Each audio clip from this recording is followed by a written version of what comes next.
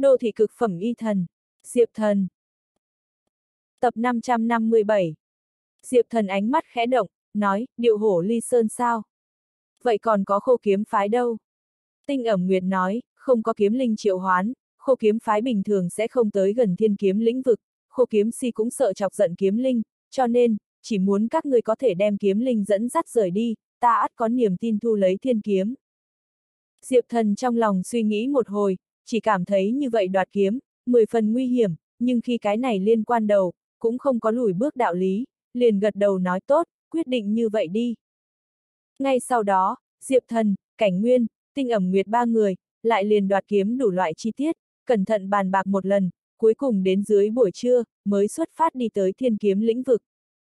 Tuyệt mệnh thiên kiếm sát khí khủng bố, ở chung quanh hình thành một cái yên diệt lĩnh vực, đủ để diệt sát hết thảy, ngày hôm đó kiếm lĩnh vực bên trong, hết thảy sinh cơ không còn, liền thời gian cùng không gian pháp tắc đều không tồn tại, chỉ có hỗn độn u ám một mảnh. Làm diệp thần, cảnh nguyên, tinh ẩm nguyệt ba người, mang theo 10 cái kiếm tộc cùng thú tộc cường giả, đi vào thiên kiếm lĩnh vực phụ cận thời điểm, đã là trạng vạng tối, màn đêm sắp buông xuống. Diệp thần thần biết thả ra ngoài, liền thấy toàn bộ thiên kiếm lĩnh vực, đều là tĩnh lặng đè nén một mảnh, không có nửa điểm sinh mệnh khí tức, nhưng ở cái kia vạn trượng cao lớn đại thiên kiếm đỉnh chóp, Diệp thần mơ hồ bắt được một cỗ lạnh lùng khí tức. Kiếm trên đỉnh có người. Mặc dù không nhìn thấy, nhưng Diệp thần có khả năng cảm nhận được, tuyệt mệnh thiên kiếm phía trên có người. Tinh ẩm nguyệt tầm mắt sáng rực, nói, liền là cái kia kiếm linh huyết phú quân, hắn thường xuyên lại ở thiên kiếm trên đỉnh ngưỡng vọng bầu trời đêm, cố gắng tìm kiếm thiên tổ tung tích. Theo kế hoạch làm việc, chúng ta chia binh hai đường, các người nghĩ biện pháp đem huyết vũ quân dẫn dắt rời đi, điệu hổ ly sơn. Diệp thần cùng cảnh nguyên nhìn nhau, gật gật đầu, hai người lập tức mang theo mấy cái hảo thủ, cùng tinh ẩm nguyệt tách ra. Luân hồi chi chủ, này điệu hổ ly sơn, liền nhìn ngươi. Cảnh nguyên có chút khẩn trương nhìn xem diệp thần, kiếm linh huyết vũ quân thực lực, cực kỳ khủng bố, có thể điều động tuyệt mệnh thiên kiếm năng lượng, vậy thì thật là sát phạt hết thảy. Coi như xem nhẹ khô kiếm phái, kiếm linh huyết vũ quân cũng là nhân vật hết sức mạnh, cho nên trước kia cảnh nguyên cũng không dám tùy tiện ra tay đoạt kiếm. Hôm nay cuối cùng muốn hành động, hắn tự nhiên là 10 điểm lo lắng, một khi thất bại, chỉ có máu vẩy thương thiên, một con đường chết. Chớ khẩn trương, các ngươi chỉ muốn giúp đỡ chặt đứt thiên cơ, tận lực chớ kinh động khô kiếm phái liền tốt. Diệp thần cười một cái nói, lần này đoạt kiếm, nếu như chỉ cùng huyết vũ quân tranh đấu, cái kia áp lực liền sẽ nhỏ rất nhiều. Nhưng nếu như, kinh động đến khô kiếm phái, thậm chí khô kiếm si tự mình buông xuống, vậy liền nguy hiểm. Cho nên, đoạt kiếm chuyến đi, nhất định phải tốc chiến tốc thắng, mà lại phải tận lực ngăn cách thiên cơ, không cho khô kiếm phái biết được. Cảnh Nguyên nói, được. Ngay sau đó, hắn liền lặng yên đánh ra từng đạo thần vương pháp tắc, phong tỏa chung quanh hư không, ngăn cách thiên cơ. Diệp thần tầm mắt, hết sức chăm chú nhìn chăm chú tuyệt mệnh thiên kiếm, cảm thụ được cái kia bàng bạc mãnh liệt kiếm ý năng lượng, hắn cảm thấy cũng là có chút điểm trầm ngưng, nhưng đến lúc này, tự nhiên không có bất kỳ cái gì lùi bước lý do. Đại hoang thâu thiên thuật, tinh đạo hỗn độn pháp, cho ta đánh cắp. Diệp thần ánh mắt đột nhiên sắc bén, không tiếp tục lưỡng lự, lập tức đồng thời thi triển ra đại hoang thâu thiên thuật cùng tinh đạo hỗn độn pháp, nhắm ngay cách đó không xa tuyệt mệnh thiên kiếm, trực tiếp liền muốn mạnh mẽ đánh cắp. Oanh long long, thuật pháp thi triển, giữa thiên địa lập tức bão táp dâng trào, một đầu hỗn độn bàn tay lớn từ trên trời giáng xuống, hướng về tuyệt mệnh thiên kiếm chộp tới. Hắn thực thi dương trộm cướp chi pháp, không có lớn như vậy khí tượng, nhưng Diệp Thần vì kinh động kiếm linh, điệu hổ ly sơn, cho nên đặc biệt bạo phát ra hung mãnh khí tượng. Tuyệt mệnh thiên kiếm vạn trượng cao, đã là vô cùng nguy nga, nhưng Diệp Thần hiển hóa ra hỗn độn bàn tay lớn, càng là che trời che không, bàng bạc không thể tưởng tượng nổi, bàn tay to kia phía trên, từng đầu hoa văn như ngân hà, càng là lưu chuyển lên luân hồi kim quang. Ừm, kiếm đỉnh phía trên, một cái đang ngồi xếp bằng huyết bào nam tử, ngửa đầu nhìn xem từ trên trời giáng xuống hỗn độn bàn tay lớn, lập tức lộ ra kinh ngạc cùng không thể tưởng tượng nổi biểu lộ. Là ai, nghĩ chiếm lấy tuyệt mệnh thiên kiếm, không biết tự lượng sức mình. Huyết bào nam tử ánh mắt lướt qua một vệt âm lệ, khoát tay, lên tay lay càn khôn, trăm ngàn đầu huyết sắc sát lục kiếm khí, theo hắn trong tay áo bắn ra, chém tới không trung hỗn độn bàn tay lớn. Suy suy suy, Từng đạo huyết sắc kiếm khí, chạm tại hỗn độn bàn tay lớn phía trên, lập tức làm cho cái kia hỗn độn bàn tay lớn, bạo tóe lên từng sợi khói mù, thủ thế cũng là dừng lại, ngưng trệ giữa không trung. Làm sao? Cảnh nguyên mắt thấy một màn này, khẩn trương tới cực điểm, nhìn xem Diệp Thần. Chỉ thấy Diệp Thần gương mặt y nguyên trầm ổn, nhếch miệng cười cười nói, không có việc gì, vấn đề nhỏ, các ngươi lui lại một chút. Cảnh nguyên khẽ giật mình, nhưng cũng không rảnh suy nghĩ nhiều, lập tức theo lời lui về sau đi. Ngay tại hắn cùng bọn thủ hạ vừa mới lui ra phía sau, cái kia kiếm đỉnh phía trên huyết bào nam tử, tầm mắt đã khóa chặt Diệp Thần, thân thể thoáng qua, dùng siêu việt tốc độ ánh sáng tốc độ, hoành không nghiền ép tới. Huyết Vũ Quân đến rồi. Cảnh Nguyên lớn tiếng kinh hô, một hồi lại hãi dị, này huyết bào nam tử chính là tuyệt mệnh thiên kiếm kiếm linh, huyết phú Quân. Chỉ thấy huyết phú Quân hoành không đánh tới, toàn thân mỗi một chỗ lỗ chân lông, đều bộc phát ra bén nhọn kiếm khí bén nhọn, hóa thành cuồn cuộn kiếm khí hồng chiều, phô thiên cái địa chém tới Diệp Thần. Cảnh nguyên bọn người ở tại bên cạnh cảm nhận được huyết phú quân khí tức, liền hô hấp đều trễ tắc nghẽn, vội vàng sử dụng huyền vũ thần thủ phù, từng sợi linh phù hào quang từ trên người bọn họ tuôn ra, hình thành huyền vũ đồ đằng thủ hộ bình chướng, ngăn cản huyết phú quân trên thân cái kia khí thế đáng sợ. Huyết phú quân là tuyệt mệnh thiên kiếm kiếm linh, trên người hắn tự mang lấy tuyệt mệnh thiên kiếm kinh khủng kiếm đạo uy thế, ở chung quanh hư không hình thành một cái kinh người yên diệt trường vực, này yên diệt trường vực, đủ để yên diệt thời gian cùng không gian, dị thường hung mãnh.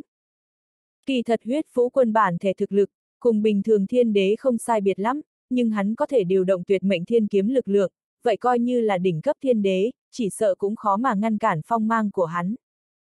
Hắn muôn vàn kiếm khí bạo sát, chém thẳng Diệp Thần, Diệp Thần lập tức lâm vào nguy hiểm chí mạng bên trong. Giống. Kinh thiên long ngâm vang vọng, Diệp Thần trên thân song long hội tụ, tiểu đạo thiên kiếm nơi tay, lập tức cũng là huy kiếm hướng về huyết vũ quân chém đi. Thiên đấu đại đồ kiếm. Diệp thần kiếm thế mãnh liệt, thiên đấu đại đồ kiếm đỉnh phong bùng nổ, cuồng bạo sát lục kiếm ý, tê thiên liệt địa, trực tiếp đối diện phá vỡ huyết phú quân muôn vàn kiếm khí. Huyết phú quân trên thân mạnh mẽ yên diệt khí tràng, cũng không có thể gây tổn thương cho hại đến Diệp thần, bởi vì tại thời khắc này, Diệp thần trên đỉnh đầu, luân hồi quang sục sôi, một ngôi sao từ từ bay lên, chính là thần giáp mệnh tinh. Thần giáp mệnh tinh phía trên, thanh long, bạch hổ, chu tước ba đạo đồ đằng sáng chói lấp lánh, viên này mệnh tinh mặc dù còn không có triệt để thắp sáng, nhưng đã đốt sáng lên ba phần tư, thủ hộ lực lượng mạnh mẽ, đạo đạo thần quang bao lại diệp thần, huyết phú quân khí tràng, căn bản là không có cách tổn thương đến hắn.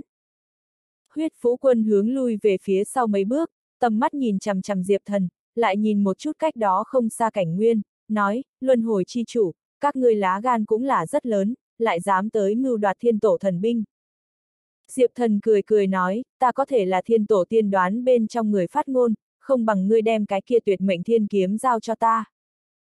Huyết Phú Quân nói, nói đùa cái gì, người đồ vật gì, cũng xứng cùng thiên tổ đánh đồng.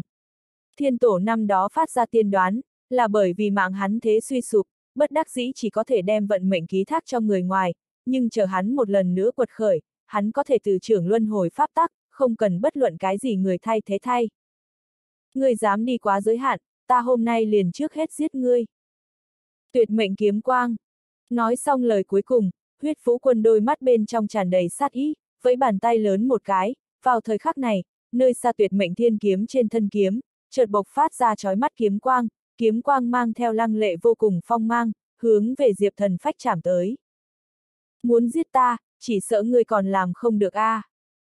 Lớn thiên kim đao chạm, Diệp Thần cười một tiếng, tiểu đạo thiên kiếm mãnh liệt phung lên, kim quang tuôn ra, vạch ra một đạo kinh khủng hào quang, mang theo cực hạn hủy diệt khí tức, cùng cái kia tuyệt mệnh kiếm quang cứng rắn đụng nhau. Đây là lớn thiên kim đao chảm hào quang, ẩn chứa cực hạn hủy diệt chi đạo, còn có đại thần áo nghĩa. Oanh! Kim mang cùng tuyệt mệnh kiếm quang va chạm, lực lượng đáng sợ dư ba, bừa bãi tàn phá mà ra, chung quanh hư không sụp đổ, năng lượng loạn lưu quét ngang, đáng sợ đến cực điểm. Cảnh nguyên đám người mặc dù khoảng cách khá xa, nhưng y nguyên thấy một hồi mãnh liệt lực phản chấn, chấn đến bọn hắn khí huyết sôi trào, thần tâm lay động. Thật là đáng sợ đối bính, luân hồi chi chủ quả thật là cường hãn A. Cảnh nguyên nội tâm kinh hãi, trong mắt hắn, huyết phú quân là gần như vô địch tồn tại, phong mang cực thịnh, nhưng giờ phút này, Diệp Thần lại có thể cùng huyết vũ quân quyết đấu đỉnh cao, không hề rơi xuống hạ phong một chút nào. Đây thật ra là bởi vì, Diệp Thần có song long trợ lực, tự thân đủ loại đạo pháp thần thông, có thể phát huy đến cực hạn. Lớn thiên kim đao chảm, thần thông, ngươi làm sao lại như vậy? Huyết vũ quân thân thể cũng là run lên, bạch bạch bạch lui lại mấy bước, phương mới dừng thân hình, hắn không nghĩ tới Diệp Thần vậy mà nắm giữ lấy tuyệt học.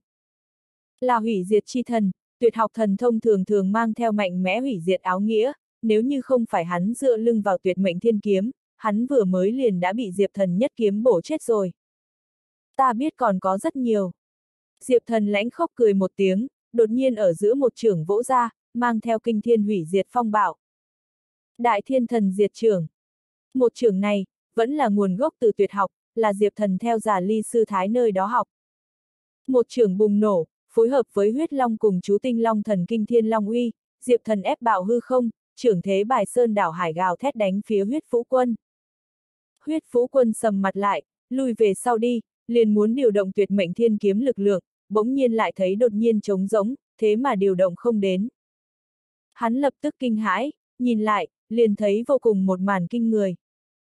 Chỉ thấy dưới bóng đêm, bão táp dâng trào, cái kia vạn trượng cao tuyệt mệnh thiên kiếm, thế mà kịch liệt rung động lên, sau đó oanh long long không ngừng sụp đổ, thu nhỏ, sau đó biến mất không thấy. Sừng sững tại tuyệt mệnh kiếm vực vô tận kỷ nguyên thiên kiếm, tại thời khắc này, thế mà biến mất không thấy, toàn bộ tuyệt mệnh kiếm vực phảng phất mất đi chống đỡ, đại địa bản khối bắt đầu dao động, phát ra kịch liệt địa chấn, oanh long long thanh âm không dứt, bụi mù cuồn cuộn. Luân hồi chi chủ, cảnh nguyên, ta đã đoạt được tuyệt mệnh thiên kiếm, nhanh lên. Nhanh lên, khô kiếm si lập tức sẽ đến rồi. Lúc này, tinh ẩm nguyệt thanh âm, cũng là truyền đến Diệp Thần cùng cảnh nguyên trong lỗ tai. Diệp Thần nhãn tình sáng lên, hắn điệu hổ ly sơn, dẫn xuất huyết phú quân, xem ra tinh ẩm nguyệt phía bên nào, là thuận lợi đoạt được tuyệt mệnh thiên kiếm. Mất đi tuyệt mệnh thiên kiếm, huyết phú quân căn cơ sụp đổ, khí thế lập tức đại suy, diệp thần đại thiên thần diệt trưởng cuồng đập tới, hắn không đợi ngăn cản, phịch một tiếng, liền bị hung hăng đánh bay. Phốc!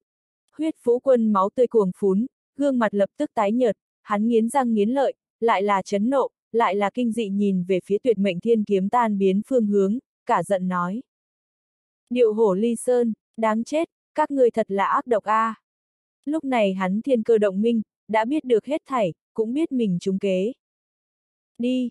Diệp thần cũng không có hàm chiến ý tứ, lập tức thoát ra mang theo cảnh nguyên đám người bay trốn đi. Lúc này tuyệt mệnh thiên kiếm đã bị lấy đi, lớn như vậy biến động, thiên cơ dù như thế nào đều là không che giấu được, khô kiếm phái chỉ cần không phải mù loà, đều có thể thấy dị biến sinh ra, khô kiếm si chỉ sợ chẳng mấy chốc sẽ buông xuống. Audio điện tử võ tấn bền. Cảnh nguyên 10 điểm bối rối, hắn chẳng qua là một cái bình thường thần vương, nếu là khô kiếm phái cường giả buông xuống, hắn cũng không phải địch thủ. Ngay sau đó, cảnh nguyên lập tức theo sát Diệp thần rời đi. Diệp thần bắt được tinh ẩm nguyệt khí tức, lập tức chạy gấp tới. Khi hắn thấy tinh ẩm nguyệt, liền thấy vô cùng máu tanh một màn. Chỉ thấy tinh ẩm nguyệt trên thân, ngổn ngang lộn xộn nằm vô số cỗ tàn toái thi thể, máu thịt be bét, đều là kiếm tộc cùng thú tộc bên trong cường giả, lúc này bọn hắn đã toàn bộ chết rồi, xem bộ dáng là bị tuyệt mệnh thiên kiếm kiếm khí xoắn nát. Mà tinh ẩm nguyệt, cũng là quần áo ngổn ngang, toàn thân vết kiếm thương, từng sợi máu tươi, không ngừng theo nàng trên vết thương chảy xuôi mà ra, mặt nàng cho tái nhợt, thụ thương vô cùng nghiêm trọng, đã là quỳ một chân xuống đất, toàn thân đều đang run rẩy, hai tay ôm thật chặt một thanh kiếm hộp. Cái kia trong kiếm hộp, trang phục chính thức lấy tuyệt mệnh thiên kiếm, tinh ẩm nguyệt hiển nhiên là thi triển thủ đoạn, đem thiên kiếm thu lại, nhưng tuyệt mệnh thiên kiếm kiếm khí, thực sự quá khủng bố, cho dù là chứa ở kiếm trong hộp, còn tại ông ông tác hưởng, không ngừng dẫy dụa, giống như tùy thời muốn tránh thoát hộp kiếm trói buộc, bay bắn ra. Mà coi như là có hộp kiếm trói buộc, vẫn là có từng sợi khủng bố bén nhọn kiếm khí, không ngừng tràn đầy tràn ra tới, hình thành đáng sợ kiếm khí phóng xạ, chính là kiếm khí này phóng xạ, làm cho tinh ẩm nguyệt bọn thủ hạ chết tận, chính nàng cũng bị rào cắt tới toàn thân vết thương. Nhưng mặc dù trọng thương, nàng y nguyên gắt gao ôm hộp kiếm, không chịu buông tay. Cướp được. Cảnh nguyên nhìn xem tinh ẩm nguyệt trong tay hộp kiếm, lập tức lộ ra một vệt xúc động, mắt thả tinh quang. Hộp kiếm cũng không hề hoàn toàn trang ở tuyệt mệnh thiên kiếm, vẫn là có một đoạn nhỏ thân kiếm lộ ra, cái kia lộ ra một đoạn nhỏ thân kiếm, phong mang cực kỳ lăng lệ, khiến cho người động dung. Nhanh lên, khô kiếm phái nhân mã bên trên muốn tới.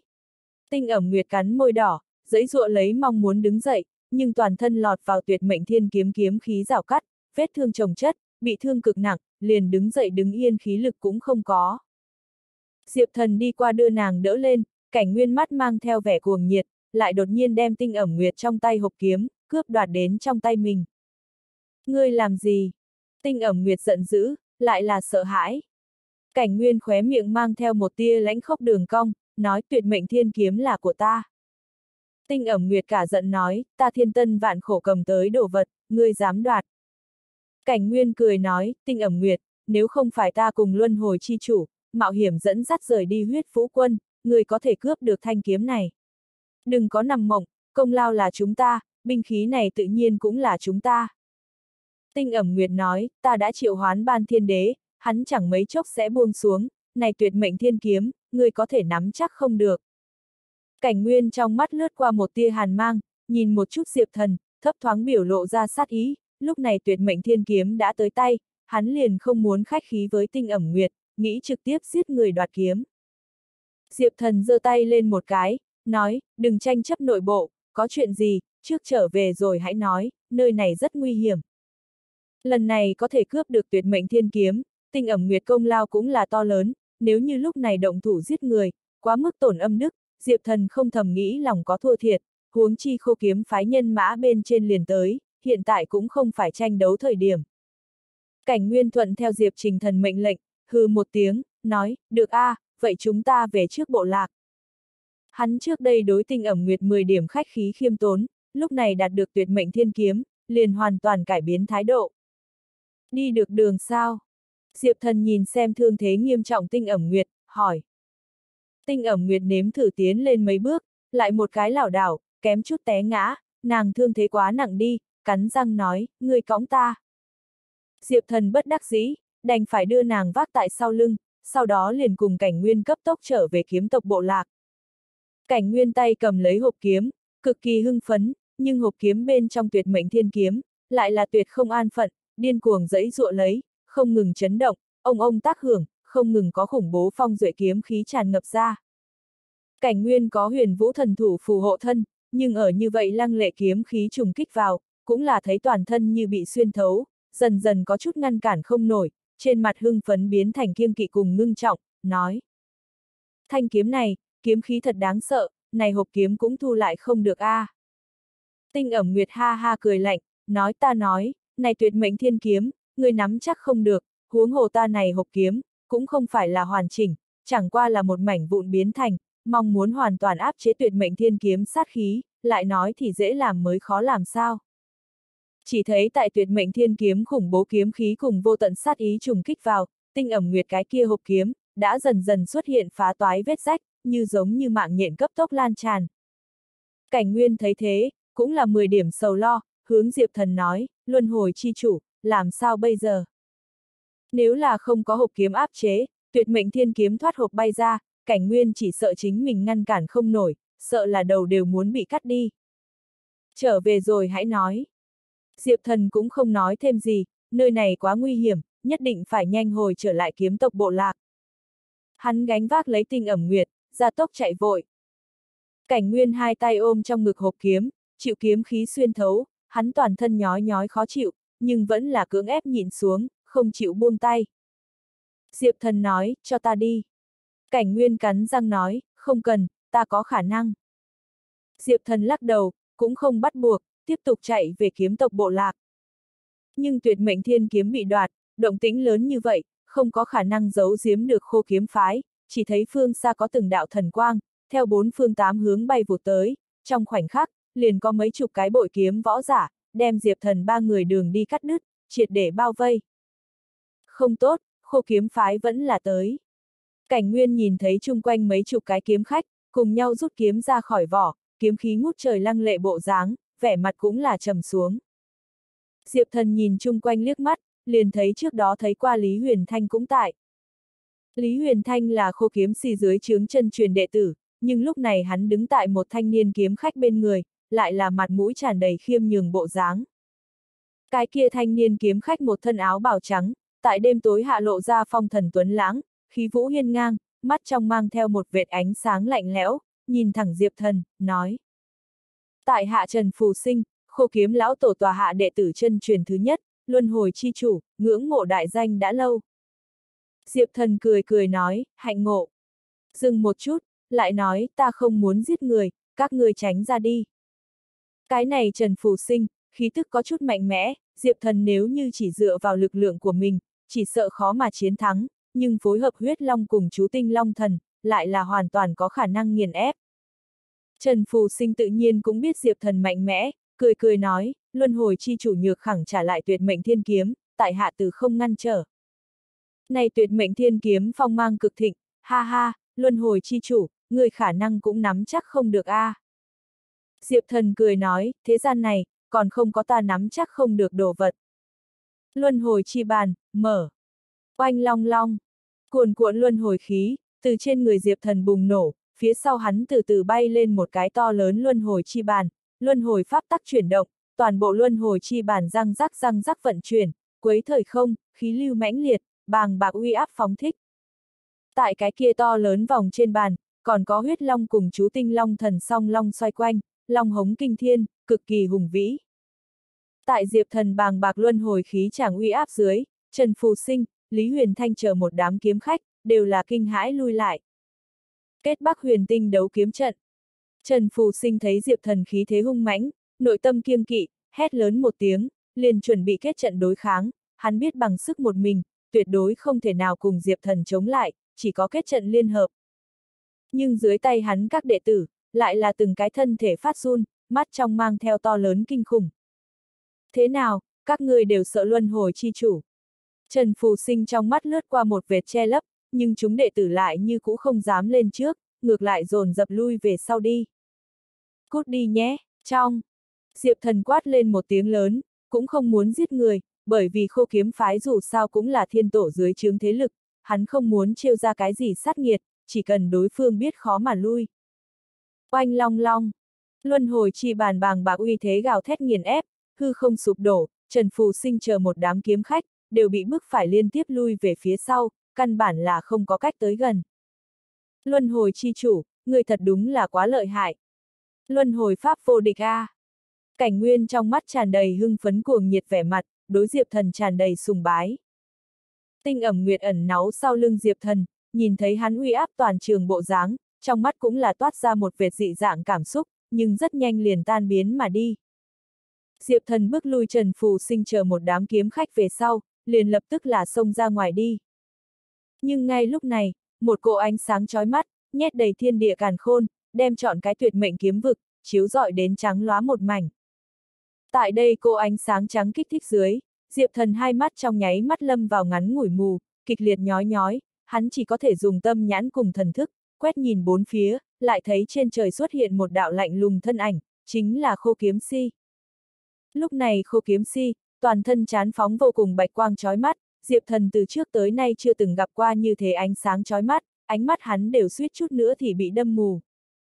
Trần Phù Sinh, Lý Huyền Thanh chờ khô kiếm phái đệ tử, nhìn thấy chính mình lão tổ tới, cũng là kinh hãi, tại cái kia chói mắt ánh sáng trắng chiếu dọi đến, bọn hắn 10 điểm khó chịu lấy tay che mắt, lại cũng không dám quên cấp bậc lễ nghĩa, dồn dập cung kính kêu lên. Lão tổ, lão nhân ra người tới. Cung nghênh lão tổ pháp giá. Lão tổ thần thông cái thế, luân hồi thiên quang tạo nghệ đã đạt đến hóa cảnh, đệ tử bội phục. Cảnh nguyên cùng tinh ẩm nguyệt, cũng là che chính mình con mắt, căn bản là không có cách nhìn thẳng khô kiếm si hào quang. Khô kiếm si hừ một tiếng, tầm mắt chỉ thấy Diệp Thần, nói, trong tay của ta không có kiếm, chỉ có một đoạn cảnh khô, nhưng trong lòng có kiếm, luân hồi chi chủ, người cũng là vô địch, hôm nay khiến ta vận dụng tâm kiếm, người mặc dù chết cũng không hối tiếc. Diệp Thần nhìn thấy này đầy trời bạch quang nhét đầy khí tượng, nội tâm cũng là chấn động, cái này là khô kiếm si tâm kiếm. Khí thế thế mà hừng hực đến nước này. Chỉ một thoáng, Diệp Thần cảm nhận được vô biên nguy hiểm, quay đầu lại hướng lấy cảnh nguyên quát, cảnh nguyên, người đi trước. Ta tới ngăn lại hắn. Diệp Thần e sợ cho tuyệt mệnh thiên kiếm rơi xuống khô kiếm si trong tay, cho nên gọi cảnh nguyên trước mang kiếm rời đi. Cảnh nguyên khẽ giật mình, sau đó cấp tốc phản ứng lại, lập tức liền ôm chặt hộp kiếm, ra bên ngoài chạy trốn mà đi. Ong ong! Nhưng, kiếm trong tay hắn hộp, lại tại kịch liệt phù vù, tựa hồ là nhận khô kiếm si ý chí kích thích, tuyệt mệnh thiên kiếm kiếm ý, sát khí, hung sát chi ý, đỉnh phong bùng nổ. Chỉ nghe răng rắc răng rắc một hồi vang, cái kia hộp kiếm rốt cuộc không chứa được tuyệt mệnh thiên kiếm, lại bị kiếm khí mạnh mẽ ép phát nổ, hóa thành bụi mảnh vụn. Ôi! Cảnh nguyên kêu to một tiếng, hộp kiếm đập tan, tuyệt mệnh thiên kiếm thoát bay ra ngoài, nở rộ thao thiên kiếm khí màu đỏ ngòm, sáng loáng phong duệ. Thanh kiếm này, đã sớm gặp ban thiên đế ý chí ăn mòn, mặt ngoài che kín loang lổ ô uế dấu vết, có từng tầng một rêu xanh bao trùm, nhưng dù vậy, trong thân kiếm ẩn chứa thao thiên kiếm khí, cái kia cỗ sát lục, hung hãn, diệt lấy hết tất cả, chém giết hết thảy khủng bố hung sát kiếm ý, là dù như thế nào đều không che giấu được. Tuyệt mệnh thiên kiếm vừa ra, toàn bộ thế giới phảng phất đều muốn bị xé rách, thổi phù một tiếng, cảnh nguyên khoảng cách gần nhận kiếm khí phách chạm, chỉ một chút, đầu của hắn liền bị chém đứt xuống tới. Cảnh nguyên. Diệp thần kinh hãi, trăm triệu không nghĩ tới tuyệt mệnh thiên kiếm sắc bén như vậy, vừa ra hộp, thế mà liền chặt đứt cảnh nguyên đầu. Cảnh nguyên có thể là thần vương, hơn nữa còn có huyền vũ thần thủ phù hộ thể, nhưng đối mặt tuyệt mệnh thiên kiếm, lại yếu ớt đến nước này, liền một luồng kiếm khí cũng đỡ không nổi, đầu đều bị cắt đứt, lăn rơi xuống đất, trên mặt dừng lại lấy kinh ngạc, kinh ngạc, không thể tin vẻ mặt. Ong ong! Cái kia tuyệt mệnh thiên kiếm thoát bay ra ngoài về sau, hướng trên không trung bay đi, nhưng chợt lại chịu kiếm bắc giới đại địa trọng lực hấp dẫn, một lần nữa quăng, tranh một tiếng, liền cắm vào đại địa phía trên. Thiên tổ thất giới, mỗi một giới đều có thiên tổ ban thưởng thánh vật, kiếm bắc giới chịu ban cho là tuyệt mệnh thiên kiếm, thanh kiếm này mang theo thiên tổ bày ra nhân quả luật, nếu như không có ngoại lực quấy nhiễu, thanh kiếm này sẽ một mực chấn thủ kiếm bắc giới đại địa, như một tòa hải đăng hạch tâm, duy trì lấy kiếm bắc giới địa mạch ổn định. Diệp thần biết nếu như mang đi tuyệt mệnh thiên kiếm, sẽ cho kiếm bắc giới tạo thành cực kỳ nghiêm trọng dung chuyển, nhưng nếu như hắn không đoạt, tinh ẩm nguyệt cùng khô kiếm si cũng muốn đoạt, mà lại kiếm linh huyết phú quân, thậm chí muốn dẫn lấy tuyệt mệnh thiên kiếm rời đi. Lúc này thấy đến tuyệt mệnh thiên kiếm một lần nữa cắm vào đại địa, Diệp thần không rảnh suy nghĩ nhiều, lập tức phi thân tiến lên, vươn tay đoạt kiếm. Nhưng lúc này, bên trên bầu trời, khô kiếm si nhảy lên ngón tay, nhét đầy thiên địa càn khôn đằng đắng bạch quang, toàn bộ hội tụ thành một thể, triệu tỷ tỷ chùm ánh sáng, ngưng tụ thành một vệt ánh sáng. Thiên quang luân hồi chém. Khô kiếm si trong nháy mắt, này đạo trắng xóa cột sáng, mang theo sỏ xuyên qua thế giới uy thế, vô cùng hung mãnh hướng về diệp thần phá giết mà đi. Oanh long long. Cột sáng theo hư không ép qua, phát ra cực kỳ khủng bố tiếng nổ, thời không đều sụp đổ thành khư, hóa thành hỗn độn. Diệp thần hơi có chút kinh ngạc nhìn xem cái kia trực sâu mà xuống cột sáng, nóng rực bạch quang, cơ hồ chọc mù hai con mắt của hắn, hắn theo cái kia giữa bạch quang, vậy mà nhìn thấy vạn tượng. Như ánh mặt trời thoạt nhìn là một mảnh trắng xóa, nhưng trên thực tế đã bao hàm đỏ cam vàng lục lam tràm tím bảy sắc, khô kiếm si bạo sát xuống tới tâm kiếm cột sáng, bên trong lại bao hàm muôn vàn màu sắc, xâm la vạn tượng, không ngừng luân hồi biến ảo, đen có thể biến đổi trắng, lam có thể biến đổi thanh, mộng ảo có thể biến đổi chân thực, ghê tởm có thể biến đổi tốt tươi. Nhìn như thuần túy rực rỡ cột sáng, kỳ thực bên trên ẩn chứa vạn tượng phong cảnh, luân hồi biến hóa, có thiên địa vạn tượng ảo diệu, một đạo ánh sáng, liền là vạn thiên thế giới, bạo sát hướng diệp thần, như vạn thiên thế giới lực lượng, cùng nhau nghiền ép gào thét xuống tới, uy thế kinh người, khó mà hình dung. Đây là cái gì kiếm pháp? Tâm kiếm, thiên quang luân hồi chảm. Ta nguyên lai tưởng rằng thiên đấu đại đồ kiếm, đã là có một không hai chư thiên, chỉ thủy kiếm đạo càng là ảo tưởng đỉnh phong, thế gian này, còn sẽ vượt qua như thế kiếm đạo tồn tại. Diệp thần nội tâm lóe lên khiếp sợ không gì sánh nổi suy nghĩ, không nghĩ tới khô kiếm si tâm kiếm uy thế, sẽ khủng bố đến nước này, nếu như bị đánh trúng, hắn tuyệt đối sẽ triệt để hòa tan, hòa tan tại cái kia cuồn cuộn giữa bạch quang, hài cốt không còn. Nguy rồi, mộ chủ, chúng ta phải chết. Chú tinh long thần hoảng hốt kêu gọi, khô kiếm si một kiếm này, cột sáng sỏ xuyên qua, càn khôn dung chuyển, thực sự quá khủng bố, coi như là hắn, đối mặt đáng sợ như vậy trùng kích, từ liệu cũng không cách nào ngăn cản. Tại to lớn ở dưới sự nguy hiểm đến sống chết, Diệp thần tê cả ra đầu, toàn thân siêu siêu rét run, đại não cao tốc chuyển động, đột nhiên phúc trí tâm linh. Luân hồi mộ táng công, thiên bi, mở. Trong lúc nguy cấp, Diệp thần tay cầm vừa nắm, luân hồi chi bàn bay lên, hạch tâm hiện ra thiên tổ đồ đằng, luân hồi mộ táng công trực tiếp mở ra. Nhưng khô kiếm si một kiếm này, uy thế quá mức khủng bố, coi như Diệp thần mở ra luân hồi mộ táng công, cũng chưa chắc có thể ngăn cản, cho nên cùng lúc đó, hắn lại gọi ra thiên bi, càng đem thiên bi khảm nạm đến luân hồi chi bàn bên trong. Thiên bi khảm nạm vào luân hồi chi bàn, cùng ngày đó tổ đồ đằng hòa làm một thể, thiên tổ thân ảnh in dấu khắc ở thiên trên tấm bia, thế mà giống là sống lại, cầm dâu bạc không gió phiêu đáng, hiện ra một cỗ siêu tuyệt thế bụi tư thái. Khảm nạm thiên bi về sau, diệp thần luân hồi mộ táng công uy thế, lập tức tăng lên rất nhiều, khí chiều bão táp, lại thêm huyết long cùng chú tinh long thần song long xoay quanh, giờ khắc này, hắn luân hồi chi bàn khí thế, quả thực là che đậy chư thiên, oanh long long chấn động, hiện ra một cỗ táng thiên khí tức. Luân hồi mộ táng công có 9 tầng, trước kia Diệp Thần chỉ luyện đến tầng thứ nhất táng địa, lúc này dung hợp thiên bi, mượn thiên bi uy lực, thần công của hắn tạo nghệ thế mà được tăng lên, bước vào tầng thứ hai táng thiên cảnh giới. Luân hồi mộ táng công, tu vi mỗi tăng lên một tầng, uy lực thuế biến đều là to lớn. Tầng thứ hai táng thiên chi cảnh, cùng tầng thứ nhất táng địa so sánh, đó là chân chính một cái là trời, một cái là đất. Luân hồi chi bàn hiển hóa ra táng thiên oai, quanh mình thời không liền điên cuồng sụp đổ, trong thiên địa tất cả đều phảng phất được mai táng, khô kiếm si trực quán hạ tới cột sáng, đánh vào diệp thần luân hồi chi bàn phía trên, bùng nổ kinh thế va chạm gợn sóng. Nhưng, cái kia phảng phất có thể xỏ xuyên qua thế giới cột sáng, cũng không thể phá hư diệp thần luân hồi chi bàn. Thậm chí, diệp thần luân hồi chi bàn, còn phảng phất là một cái hắc động thâm uyên, không ngừng đem cột sáng năng lượng thôn phệ, tiêu mất, phai mờ, mai táng.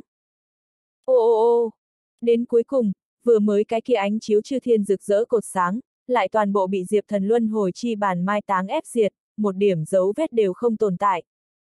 Bất quá, khô kiếm si trong cột ánh sáng ẩn chứa mạnh mẽ kiếm ý cùng khí thế, vẫn là có không ít năng lượng, cách luân hồi chi bàn, truyền lại đến Diệp Thần trên thân. Ngô! Diệp Thì Thần kêu lên một tiếng đau đớn, tại đây cỗ to lớn kiếm ý cùng khí thế nghiền ép dưới, cùng trên lưng hắn tinh ẩm nguyệt, cùng nhau ngã xuống đất, đầu vang ong ong, cái kia luân hồi chi bàn cũng đi theo tan vỡ, huyết long cùng chú tinh long thần đều tiêu hao rất lớn, trực tiếp lùi về diệp thần trong thân thể. Khảm nạm thiên bi, ngắn ngủi đem luân hồi mộ táng công tu vi, tăng lên tới táng thiên chi cảnh, như vậy thủ đoạn, đối khí thức tiêu hao quá mãnh liệt, diệp thần, huyết long, chú tinh long thần ba cái đều cơ hồ là trong nháy mắt, liền bị rút khô lực lượng. Mộ chủ, người thủ đoạn thật đúng là tàn nhẫn a. Thế mà dựa vào thiên bi, đem luân hồi mộ táng công tăng lên tới táng thiên chi cảnh. Bất quá như vậy thủ đoạn, kiếm tẩu thiên phong, đối khí tức tiêu hao quá lớn, một lần nữa, chúng ta cũng phải bị rút thành thây khô a. Chú Tinh Long thần tán thưởng kêu to, bội phục Diệp thần thủ đoạn, nhưng cũng biết như vậy thủ đoạn, tác dụng phụ to lớn. Diệp thần không dễ chịu, nhưng lúc này khô kiếm si, trạng thái so với hắn còn bết bát hơn. Hắn đem hết toàn lực tâm kiếm, thế mà bị Diệp thần hóa giải mất, thậm chí còn có bộ phận kiếm thế, bị cái kia luân hồi chi bản phản bắn trở về. Hắn lập tức nhận cắn trả, giữ ngực bụng phiền muộn muốn ói, lại cảm thấy tiểu não héo rút, tinh thần một hồi kịch liệt rào cắt đau đớn. Đây là luân hồi mộ táng công táng thiên oai, mang tới xâm phạt. Cơ thể người một đạo, đan điền vì, thức hải vì thiên, luân hồi mộ táng công nếu như luyện đến tầng thứ nhất táng địa cảnh giới, có thể mai táng người đan điền, để cho người ta đan điền phá toái, biến thành phế vật. Mà nếu như luyện đến tầng thứ hai táng thiên cảnh giới, vậy liền lợi hại hơn, có thể trực tiếp công kích người thức hải, để cho người ta não khô héo co lại, tinh thần sụp đổ, linh hồn phá diệt. Diệp thần bản thể tu vi, cùng khô kiếm si tranh lệch quá lớn, dĩ nhiên còn chưa đủ để mai táng hắn linh hồn, nhưng luân hồi mộ táng công bản thân mang theo táng thiên lực lượng, lại làm cho đến khô kiếm si vô cùng khó chịu, đầu óc đã gặp phóng xạ, như bị trăm ngàn nắm đao nhọn đâm xuyên, quặn đau dị thường. Lão tổ thiên quang luân hồi chảm, thế mà bị phá hết. Này luân hồi chi chủ, hắn thế mà đã luyện thành luân hồi mộ táng công, thậm chí đạt đến táng thiên chi cảnh. Chẳng lẽ hắn thật có tư cách cùng ngày tổ người đại diện? Này táng thiên chi cảnh, truyền thuyết có khả năng mai táng chư thiên A. Mắt thấy đến khô kiếm si đỉnh phong bùng nổ tâm kiếm, bị Diệp Thần cản lại, thậm chí triệt để mai táng phai mờ, mà khô kiếm si bản thân cũng nhận cắn trả, rất nhiều khô kiếm phái các đệ tử, lập tức trợn mắt hốc mồm, không thể tin được một màn trước mắt. Lúc này Diệp Thần cùng khô kiếm si, đều đã mất đi sức chiến đấu, vừa mới va chạm, nhìn như thế lực ngang nhau, nhưng Diệp Thần dùng yếu chiến mạnh, lại có thể cân sức ngang tài, người nào càng hơn một bậc, đã vừa xem hiểu ngay. Khô kiếm si vẻ mặt vô cùng khó coi, cố nén đầu đau đớn, hướng về phía chúng đệ tử quát. Các ngươi còn đứng ngây ra đó làm gì? Nhanh đi giết luân hồi chi chủ. Chúng đệ tử khiếp sợ Diệp Thần uy thế, lại không một người dám can đảm tiến lên, cho dù là Trần Phù Sinh, Lý Huyền Thanh đám đệ tử chân truyền, cũng là toát ra kinh khủng kiêng kỵ vẻ mặt, còn có không che giấu được nghi vấn. Khô kiếm si từng nói Diệp Thần là đi quá giới hạn người, không xứng làm thiên tổ người đại diện, nhưng vừa mới Diệp Thần thi triển ra luân hồi mộ táng công, khí thế mênh mông bực nào, thoạt nhìn tựa như thiên tổ đích thân tới, cũng không giống như là cái gì đi quá giới hạn.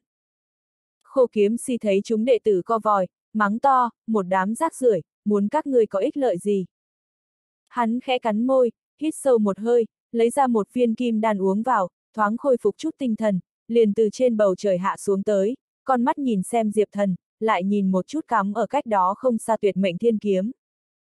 Thanh kiếm này, cuối cùng là của ta.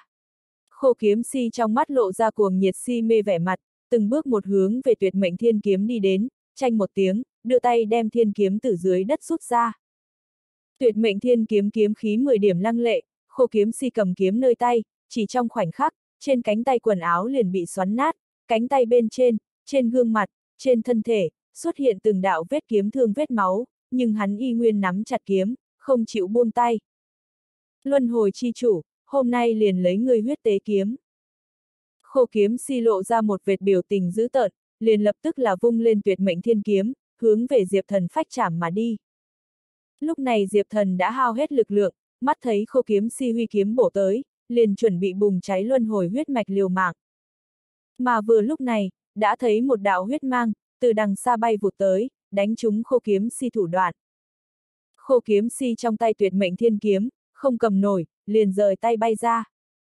Chỉ thấy một bóng người hoảng động đậy, liền đem tuyệt mệnh thiên kiếm đoạt vào trong tay, chính là một cái huyết bào nam tử, trên mặt mang theo lãnh tịch như như pho tượng hờ hững, chính là kiếm linh huyết vũ quân. Khô kiếm lão tổ, đây không phải ngươi kiếm, là thiên tổ kiếm. Huyết vũ quân cướp được tuyệt mệnh thiên kiếm, nắm trong tay, 10 điểm lạnh lùng nhìn xem khô kiếm si. Khô kiếm si chấn động, nói, huyết vũ quân, thanh kiếm cho ta. Thiên tổ đã rời đi cái thế giới này, mà lại lão nhân ra ông ta trong tay, thần binh lợi khí ngàn ngàn vạn vạn, vừa lại không cần quan tâm một thanh tuyệt mệnh thiên kiếm. Nhưng thanh kiếm này, đối ta lại cực kỳ trọng yếu, chính là ta chứng đạo siêu thiên nơi mấu chốt. Người đem kiếm cho ta. Huyết Phú Quân lắc lắc đầu nói, không, không được, coi như đối thiên tổ tới nói, thanh kiếm này cũng là vô cùng trọng yếu, tuyệt không phải bình thường, ta muốn dẫn lấy thanh kiếm này đi tìm hắn. Khô kiếm si cả giận nói, thiên tổ đã không còn nữa, ngươi có thể đi nơi nào tìm. Chẳng lẽ ngươi còn có thể đi thế giới bên ngoài hay sao? Thanh kiếm cho ta. Ngươi một cái kiếm linh, ban đầu vừa đản sinh thời điểm, vô cùng nhỏ yếu, là ta trả giá vô số tài nguyên, đưa ngươi nuôi nấng lớn lên, ngươi không có ơn lo đáp, còn muốn phản loạn ta. Huyết Phú Quân thân thể chấn động, lại lắc đầu nói, khô kiếm lão tổ, người vun trồng chi tình, ta rất là cảm kích, chờ ta tìm tới thiên tổ, nhất định hậu báo. Nói xong liền bắn ra tuyệt mệnh thiên kiếm, mong muốn ngự kiếm phi thiên rời đi. Khô kiếm si cả giận nói, đáng chết, nuôi không quen bạch nhãn lang. May mắn lão phu sớm có đoán trước, ban cho ngươi đan dược bên trong, trộn lẫn không ít thiên thi mục nát não viên, người hôm nay thực có can đảm phản loạn, ta liền muốn ngươi chết. Thiên thi họa pháp, mở. Chỉ thấy khô kiếm si tế ra một đạo linh phù, giữa trời bốc cháy lên, linh phù một thiêu hủy, liền có một cỗ khói đen toát ra. Huyết phú quân kêu lên một tiếng đau đớn, thoáng chốc ở giữa, chỉ cảm thấy trong cơ thể khí tức dung chuyển, cùng hắc khí kia cộng minh, giống như bị câu dẫn, trong kinh mạch lập tức tuôn ra vô số hắc ác nguyên chất cùng kịch độc, mục nát tâm nát phổi, hắn trực tiếp liền cùng tuyệt mệnh thiên kiếm cùng một chỗ, tầng tầng té xuống đất. Diệp thần mắt thấy một màn này, thế mới biết, nguyên lai khô kiếm si đã sớm lưu lại một tay, tại huyết phú quân trên thân gieo kịch độc, phòng ngừa hắn phản bội. Huyết phú quân lúc này độc phát, khóe miệng tiết ra máu tươi, đau thương cười một tiếng, nói, khô kiếm lão tổ, nguyên lai ngươi một mực tại tính toán ta. Ngươi mưu toàn chiếm lấy thiên tổ thần binh, đối thiên tổ bất kính, hào không tín ngưỡng, ta. Ta cho dù chết, cũng sẽ không đem tuyệt mệnh thiên kiếm cho ngươi. Nói xong lời cuối cùng, huyết phú quân trong mắt lướt qua một vệt quyết tuyệt, ngẩng đầu vọng thiên, phát ra ngâm sướng.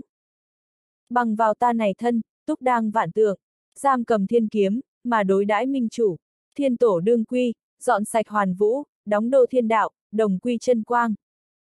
Hiu hiu hiu, chỉ thấy huyết phú quân thân thể, cấp tốc sụp đổ hòa tan, hóa thành từng sợi nguyên thủy khí huyết năng lượng, hiện ra màu đỏ tươi, toàn bộ trút xuống đến tuyệt mệnh thiên kiếm phía trên. Hắn hy sinh chính mình, dùng thân tế kiếm, nguyên bản dính bám vào tuyệt mệnh thiên kiếm phía trên chất bẩn, như ban thiên đế ý chí, khô kiếm si ý chí các loại, thế mà toàn bộ bị hắn khí huyết rửa sạch, cả thanh kiếm trở nên tinh hồng một mảnh, nhìn thấy mà giật mình. Răng rắc răng rắc, không chỉ là rửa sạch chất bẩn, huyết phú quân khí huyết, còn hóa thành từng đầu huyết sắc xiềng xích, đem chọn nắm tuyệt mệnh thiên kiếm cuốn lấy, triệt để gông cùng xiềng xích buộc chặt. Oanh long long, tuyệt mệnh thiên kiếm một lần nữa cắm hồi trở lại trên mặt đất, cũng oanh long long hướng thiên cất cao, trong khoảnh khắc, lại từ ba thước thanh phong, biến thành vạn trượng cao nguy nga bộ dáng. Vạn trượng cao nguy nga cự kiếm, phía trên quấn đầy huyết sắc xiềng xích, thoạt nhìn vô cùng dữ tợn hung ác, lại lộ ra một cỗ chấn nhân tâm phách huyết tinh sát khí, còn có huyết vũ quân trước khi chết oán niệm, khiến cho người động dung. Không. Khô kiếm si thấy cả thanh tuyệt mệnh thiên kiếm, đều bị huyết vũ quân bỏ mình biến thành xiềng xích, toàn bộ cuốn lấy, lập tức chấn kinh. Tại cái kia từng đầu huyết sắc xiềng xích quấn quanh dưới, tuyệt mệnh thiên kiếm phong mang, mặc dù vẫn là vô cùng lăng lệ, nhưng thanh kiếm này đã bị khóa lại, người ngoài không người chấp trường, mong muốn đánh vỡ xiềng xích trưởng khống, không biết phải bỏ ra nhiều ít gian khổ. Luân hồi chi chủ, đều tại ngươi, ta muốn giết ngươi. Khô kiếm si vô cùng phẫn nộ, đầy ngập bi phẫn vô pháp phát tiết, ánh mắt nhìn đến Diệp Thần, liền phẫn nộ hướng về Diệp Thần xông tới giết. Giống như dã thú phong ma, đã không có nửa điểm kiếm đạo tông sư bộ dáng. Kỳ thật huyết phú quân bỏ mình, hóa thành huyết sắc xiềng xích, phong cấm lại tuyệt mệnh thiên kiếm, cùng Diệp Thần một chút quan hệ cũng không có, kẻ cầm đầu ngược lại là khô kiếm si chính mình. Nhưng hắn điên phía dưới, tự nhiên là không quan tâm, chỉ cầm Diệp Thần phát tiết. Diệp Thần đang chờ né tránh, gió bên trong bỗng nhiên truyền đến một hồi nồng đậm mùi rượu. Chỉ thấy một đầu hồ lô rượu, hoành không bay tới, đánh tới hướng khô kiếm si đầu. Khô kiếm si điên cuồng phía dưới, lại không né tránh, bị hồ lô rượu đập trúng đầu, lập tức đầu rơi máu chảy, chật vật lui lại ba bước. Lão phong tử, làm sao không né tránh? Một đạo già nua tiếng quát vang lên, chỉ thấy một cái lão giả bay lượn tới, lại là tinh hải công. Tinh hải công. Diệp thần nhìn thấy tinh hải công tới, trong lòng vui vẻ, kêu một tiếng. Tinh hải công tay cầm một túm, thu hồi hồ lô rượu, treo ở bên hông, mắt trong mang theo thất vọng còn có một tiệu án giận vẻ mặt, nhìn xem khô kiếm si. Lúc này khô kiếm si, hoàn toàn liền là một người điên, nhìn thấy tinh hải công tới, nhếch miệng cười nói, tinh hải công, người đến rất đúng lúc, giúp ta giết luân hồi chi chủ. Tinh hải công lắc đầu, nói, người điên rồi, ai, lão phong tử, ta không cùng ngươi dây dưa. Hướng Diệp Thần nói, luân hồi chi chủ, chúng ta đi thôi. Ngay sau đó, hắn cũng mặc kệ khô kiếm si, một tay nắm lấy Diệp Thần, một tay nhấc lên tinh ẩm nguyệt, liền hướng tuyệt mệnh kiếm vực bên ngoài chạy đi. Đứng lại cho ta. Khô kiếm si giận dữ, tiến lên mong muốn đuổi theo chặn đường, nhưng hắn lúc này khí thức tiêu hao quá lớn, đã hoàn toàn đuổi không kịp tinh hải công. Tinh hải công đem bên hông hồ lô rượu hái xuống, lại ném cho khô kiếm si, lớn tiếng nói. Lão phong tử, người si mê kiếm đạo quá sâu, đã thành tâm ma, đều nhanh tẩu hỏa nhập ma, uống một hớp rượu chính mình tỉnh táo lại đi. Tiếng nói vừa ra, tinh hải công đã mang theo diệp thần cùng tinh ẩm nguyệt, đi xa yêu yêu, rất nhanh liền ra tuyệt mệnh kiếm vực, một đường trở lại trạch viện của mình bên trong, sau đó liền đem diệp thần cùng tinh ẩm nguyệt để dưới đất. Trong trạch viện đệ tử cùng bọn hạ nhân, thấy thế đều là kinh hãi. Tinh hải công kêu lên, người tới, cầm hai bình mật gấu thiên lộc rượu ra tới. Tả hữu tôi tớ vội vàng theo trong hầm rượu, cưới hai bình rượu ra tới. Đây là mật gấu thiên lộc rượu, lấy dùng vạn cổ tuyết tâm cự hùng gan, còn có thiên tâm thanh lộc roi, hỗn hợp rất nhiều dược liệu sản xuất mà thành, là cao cấp nhất rượu thuốc, đối chữa thương cùng khôi phục nguyên khí hiệu quả rất tốt, các người một người uống một bình, nghỉ ngơi một đêm, ngày mai liền có thể khôi phục. Tinh Hải công đem hai bình rượu thuốc, ném cho Diệp Thần cùng Tinh ẩm nguyệt, một người một bình. Diệp Thần lấy rượu thuốc, ngưỡng hầu uống một ngụm, chợt cảm thấy toàn thân ấm áp dễ chịu, một dòng nước nóng theo trong đan điền dũng mãnh tiến ra, vừa mới tiêu hao khí tức, cấp tốc khôi phục. Hắn lấy lại bình tĩnh, hỏi Tinh Hải công, đa tạ cứu giúp, tiểu mạt lị đâu? Tinh Hải công cười nói, người mới từ lão già điên kia thủ hạ thoát hiểm, không quan tâm chính mình, ngược lại nhanh như vậy quan tâm tiểu nha đầu kia rồi. Diệp thần nói, ta không sao, không có việc gì, liền sợ mạt lị xảy ra chuyện. Tinh Hải công cười nói, đừng lo lắng, có ta che chở nàng, nàng không có việc gì, tối hôm qua ngươi bị tuyệt mệnh thiên kiếm kiếm chiều cuốn đi, tiểu nha đầu kia sắp khóc chết rồi, ta nói luân hồi khí vận hừng hực, ngươi không có việc gì, tiểu nha đầu kia vẫn là lo lắng, mượn rượu tiêu sầu, ừng ực ừng ực uống hơn 100 cân men hoàng tử, đã say đến đã ngủ mê man rồi, còn không có tỉnh đây. Diệp thần lập tức im lặng, bất quá cảm thấy cũng thoáng yên ổn, tiểu mạt lị không có xảy ra việc gì liền tốt. Tinh Hải công thấy Diệp thần uống mật gấu thiên lộc rượu, liền hỏi, thế nào, người tinh thần khá hơn chút nào không? Diệp thần mừng rỡ, nói tinh Hải công, người này rượu thuốc, quả thật 10 điểm linh rượu, ta khí tức tốt hơn nhiều. Tinh Hải công cười ha ha một tiếng, hơi có chút đắc ý bộ dáng, vừa nhìn về phía tinh ẩm nguyệt nói, người đây, có thấy khá hơn chút nào không? Tinh ẩm nguyệt uống vào rượu thuốc, trạng thái cũng tốt hơn nhiều, trên thân vết kiếm thương lại lấy tốc độ mà mắt thường cũng có thể thấy được khép lại, nàng lãnh đạm nói, đa tạ, bất quá ta tinh ẩm nguyệt không bị người ân, này Nguyên Ngọc. Nàng lấy ra một túi Nguyên Ngọc, đã muốn làm thành trả thù lao thanh toán cho tinh hải công. Bộp một tiếng, tinh hải công đột nhiên một bàn tay, hung hăng phiến tại gò má nàng lên. Tinh ẩm nguyệt tuyết trắng gương mặt, lập tức sưng lên một cái trưởng ấn, nàng chấn nộ, lại cũng không dám trực tiếp phát tác, cắn răng nói, ngươi, ngươi đánh ta. Tinh hải công hừ một tiếng, nói, lão phu cứu tính mệnh của ngươi, cho ngươi uống rượu, là xem ở ngươi là luân hồi chi chủ nữ nhân mức, người cũng đừng cho thể diện mà không cần, đưa tiền đây vũ nhục ta sao. Tinh ẩm nguyệt cả giận nói, người nói hưu nói vượn chút gì, ta lúc nào thành tiểu tử này nữ nhân. Luận bối phận, ta có thể là hắn sư mẫu. Tinh hải công khẽ giật mình, nói, sư mẫu. Ha ha, thú vị, thú vị. Trên người ngươi, tại sao có thể có hắn tơ tình? Tinh ẩm nguyệt vẻ mặt lập tức đỏ lên, không nói gì với nhau. Diệp thần vội vàng nói, có thể là si tình cổ lưu lại cổ độc, tinh hải công, ngươi không nên hiểu lầm, nàng là ta. Tinh hải công gian xảo một thoáng, khoát tay áo, nói tốt, không cần giải thích, quan hệ của các ngươi, ta không có hứng thú. Dừng một chút, tinh hải công gương mặt lại trở nên ngưng trọng xuống tới, nói, luân hồi chi chủ, lần này ta cứu được ngươi, ngươi có thể phải nghĩ biện pháp giúp ta một chút. Diệp thần nói, tiền bối có gì phân phó. Tinh hải công nói, chờ ngươi khí thức khôi phục, ta muốn ngươi nghĩ biện pháp mang đi tuyệt mệnh thiên kiếm. Diệp thần nói, cái gì? Tinh hải công bất đắc dĩ thở dài một hơi, nói, khô kiếm si lão già điên kia, thường nói ta thích rượu như mạng, kỳ thật chính hắn cũng si tuyệt cực kỳ, ta thích rượu ít nhất đối thân thể có ích, hắn lại là thị kiếm thành si, đã nhập ma nổi điên. Ai, hắn dù sao cũng là lão bằng hữu của ta, ta tổng không thể nhìn hắn điên tìm đường chết, xét đến cùng, hết thảy tai họa căn nguyên, liền là cái kia tuyệt mệnh thiên kiếm. Luân hồi chi chủ, ta muốn ngươi mang đi tuyệt mệnh thiên kiếm, kể từ đó, khô kiếm si lão giả điên kia, chắc hẳn có khả năng tỉnh táo một chút, thanh kiếm này không phải hắn có thể trưởng khống. Hắn một lòng nghĩ cầm kiếm chứng đạo siêu thiên, nhưng, hắc hắc, siêu phẩm thiên đế A, dùng hiện thời thiên đạo chi suy, mong muốn bước vào cảnh giới này, nói thì dễ làm mới khó làm sao. Không thể nào. Ừm, ngươi là thiên tổ người đại diện, lại là thiên đấu sát thần truyền nhân, ngươi tới trưởng khống tuyệt mệnh thiên kiếm, vậy thì thật là không có thể tốt hơn nữa. Đến mức kiếm bắc giới không có tuyệt mệnh thiên kiếm, thiên địa sụp đổ, đó là vấn đề nhỏ, cái thế giới này hủy, ta di chuyển đi thế giới khác chính là, ngược lại mộ táng cung tổng bộ đã sớm giải tán, đã từng vô cùng trọng yếu thiên tổ thất giới, theo thiên tổ rời đi, cũng mất đi giá trị, hủy liền hủy, không có gì đáng ngại. Tinh hải công 10 điểm rộng rãi, lại hoàn toàn không lấy kiếm bắc giới sinh diệt vì niệm, chỉ muốn nhường Diệp Thần mang đi tuyệt mệnh thiên kiếm. Trong mắt hắn xem ra, tuyệt mệnh thiên kiếm liền là hết thảy tai họa đầu nguồn, là đỉnh cấp đại sát khí, không phải người có đại khí vận không thể chấp trường. Khô kiếm si tuy là đỉnh cấp kiếm đạo đại tông sư, nhưng ở tinh hải công trong mắt xem ra, rõ ràng cũng là không có chấp trường tuyệt mệnh thiên kiếm tư cách, chỉ có Diệp Thần có tư cách này. Diệp Thần lắc đầu, nói tinh hải công, ta ngược lại thật ra cũng muốn thu lấy tuyệt mệnh thiên kiếm, nhưng thanh kiếm kia, kiếm khí sát phạt quá thịnh, khó mà hàng phục.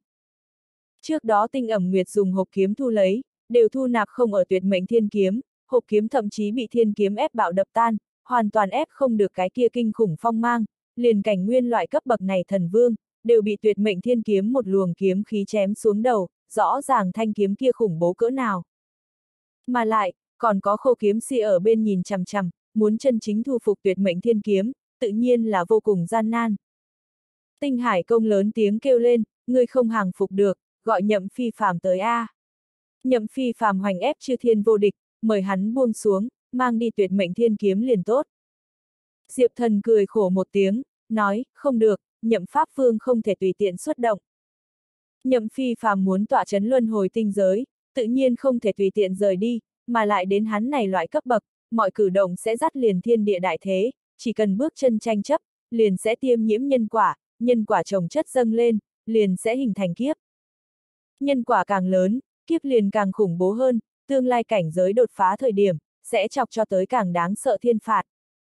Người càng mạnh mẽ hơn, liền càng trở nên thiên đạo chỗ không dung, bởi vì mạnh mẽ là một loại sai lầm, rất có thể sẽ ảnh hưởng thế giới cân bằng, thậm chí dẫn đến toàn bộ thế giới hướng đi mất khống chế sụp đổ. Con đường tu luyện, liền là tranh với trời, đấu với trời, không ngừng đột phá. Bình thường đã đến nhậm phi phàm loại cảnh giới này, sẽ không tùy tiện ra tay, ra tay chỉ nhằm vào sẽ đối với mình sinh tử vận mệnh tạo thành uy hiếp người, gặp được sự tình, bình thường là giao cho thủ hạ đệ tử đi giải quyết. Diệp thần nghĩ đến nhậm phi phàm, bỗng nhiên không hiểu lại nghĩ tới thiên tổ. Thiên tổ cần một người thay mặt, có phải hay không cũng là vì để tránh cho tiêm nhiễm nhân quả, tránh né kiếp đâu. Tinh ẩm nguyệt con ngươi nhất chuyển, tựa hồ tại tính toán cái gì, nói, nhậm pháp phương không đến, chúng ta muốn nhận lấy tuyệt mệnh thiên kiếm, trừ phi là có hộp kiếm. Diệp thần nói, hộp kiếm ngươi không phải có sao, hoàn toàn thu lại không được a. À.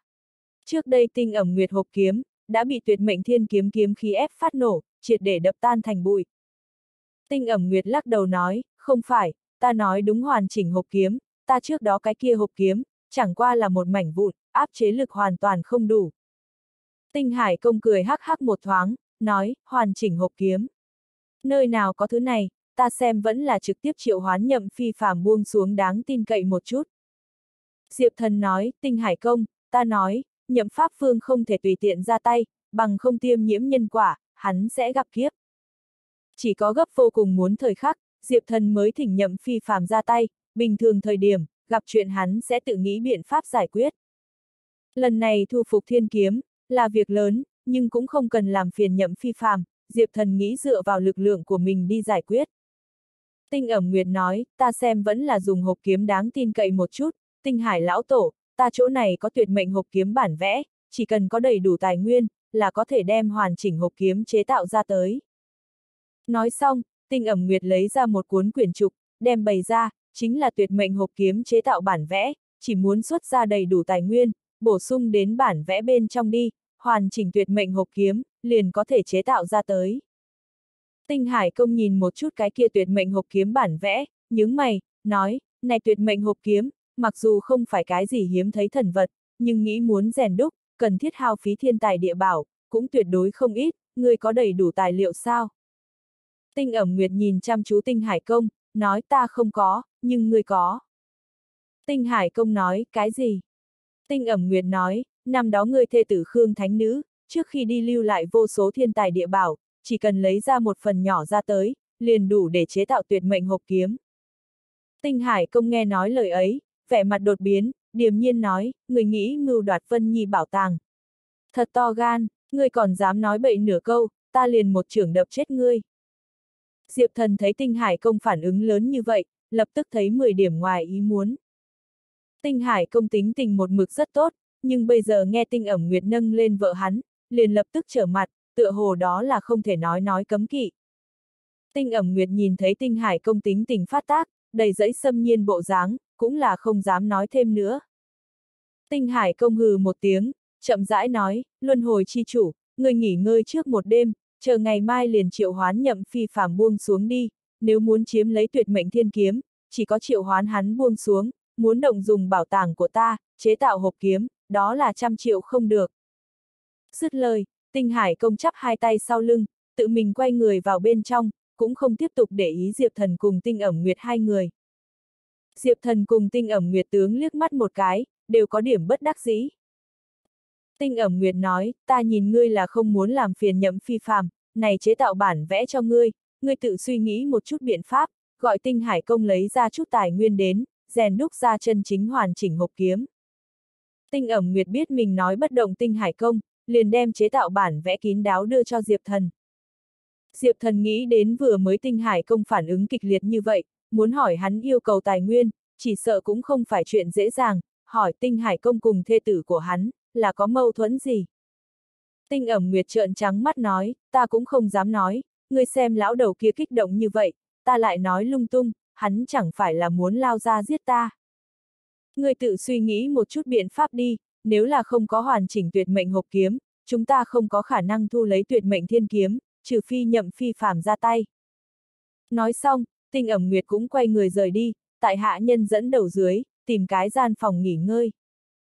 Diệp thần cầm lấy tuyệt mệnh hộp kiếm bản vẽ, trong lòng suy nghĩ muôn vàn, trong tay hắn bên trên tài nguyên, đại bộ phận đều cầm lấy đi chế tạo luân hồi sách, còn lại tài nguyên, cần cho tiểu cấm yêu cùng đao phong nữ hoàng chữa thương.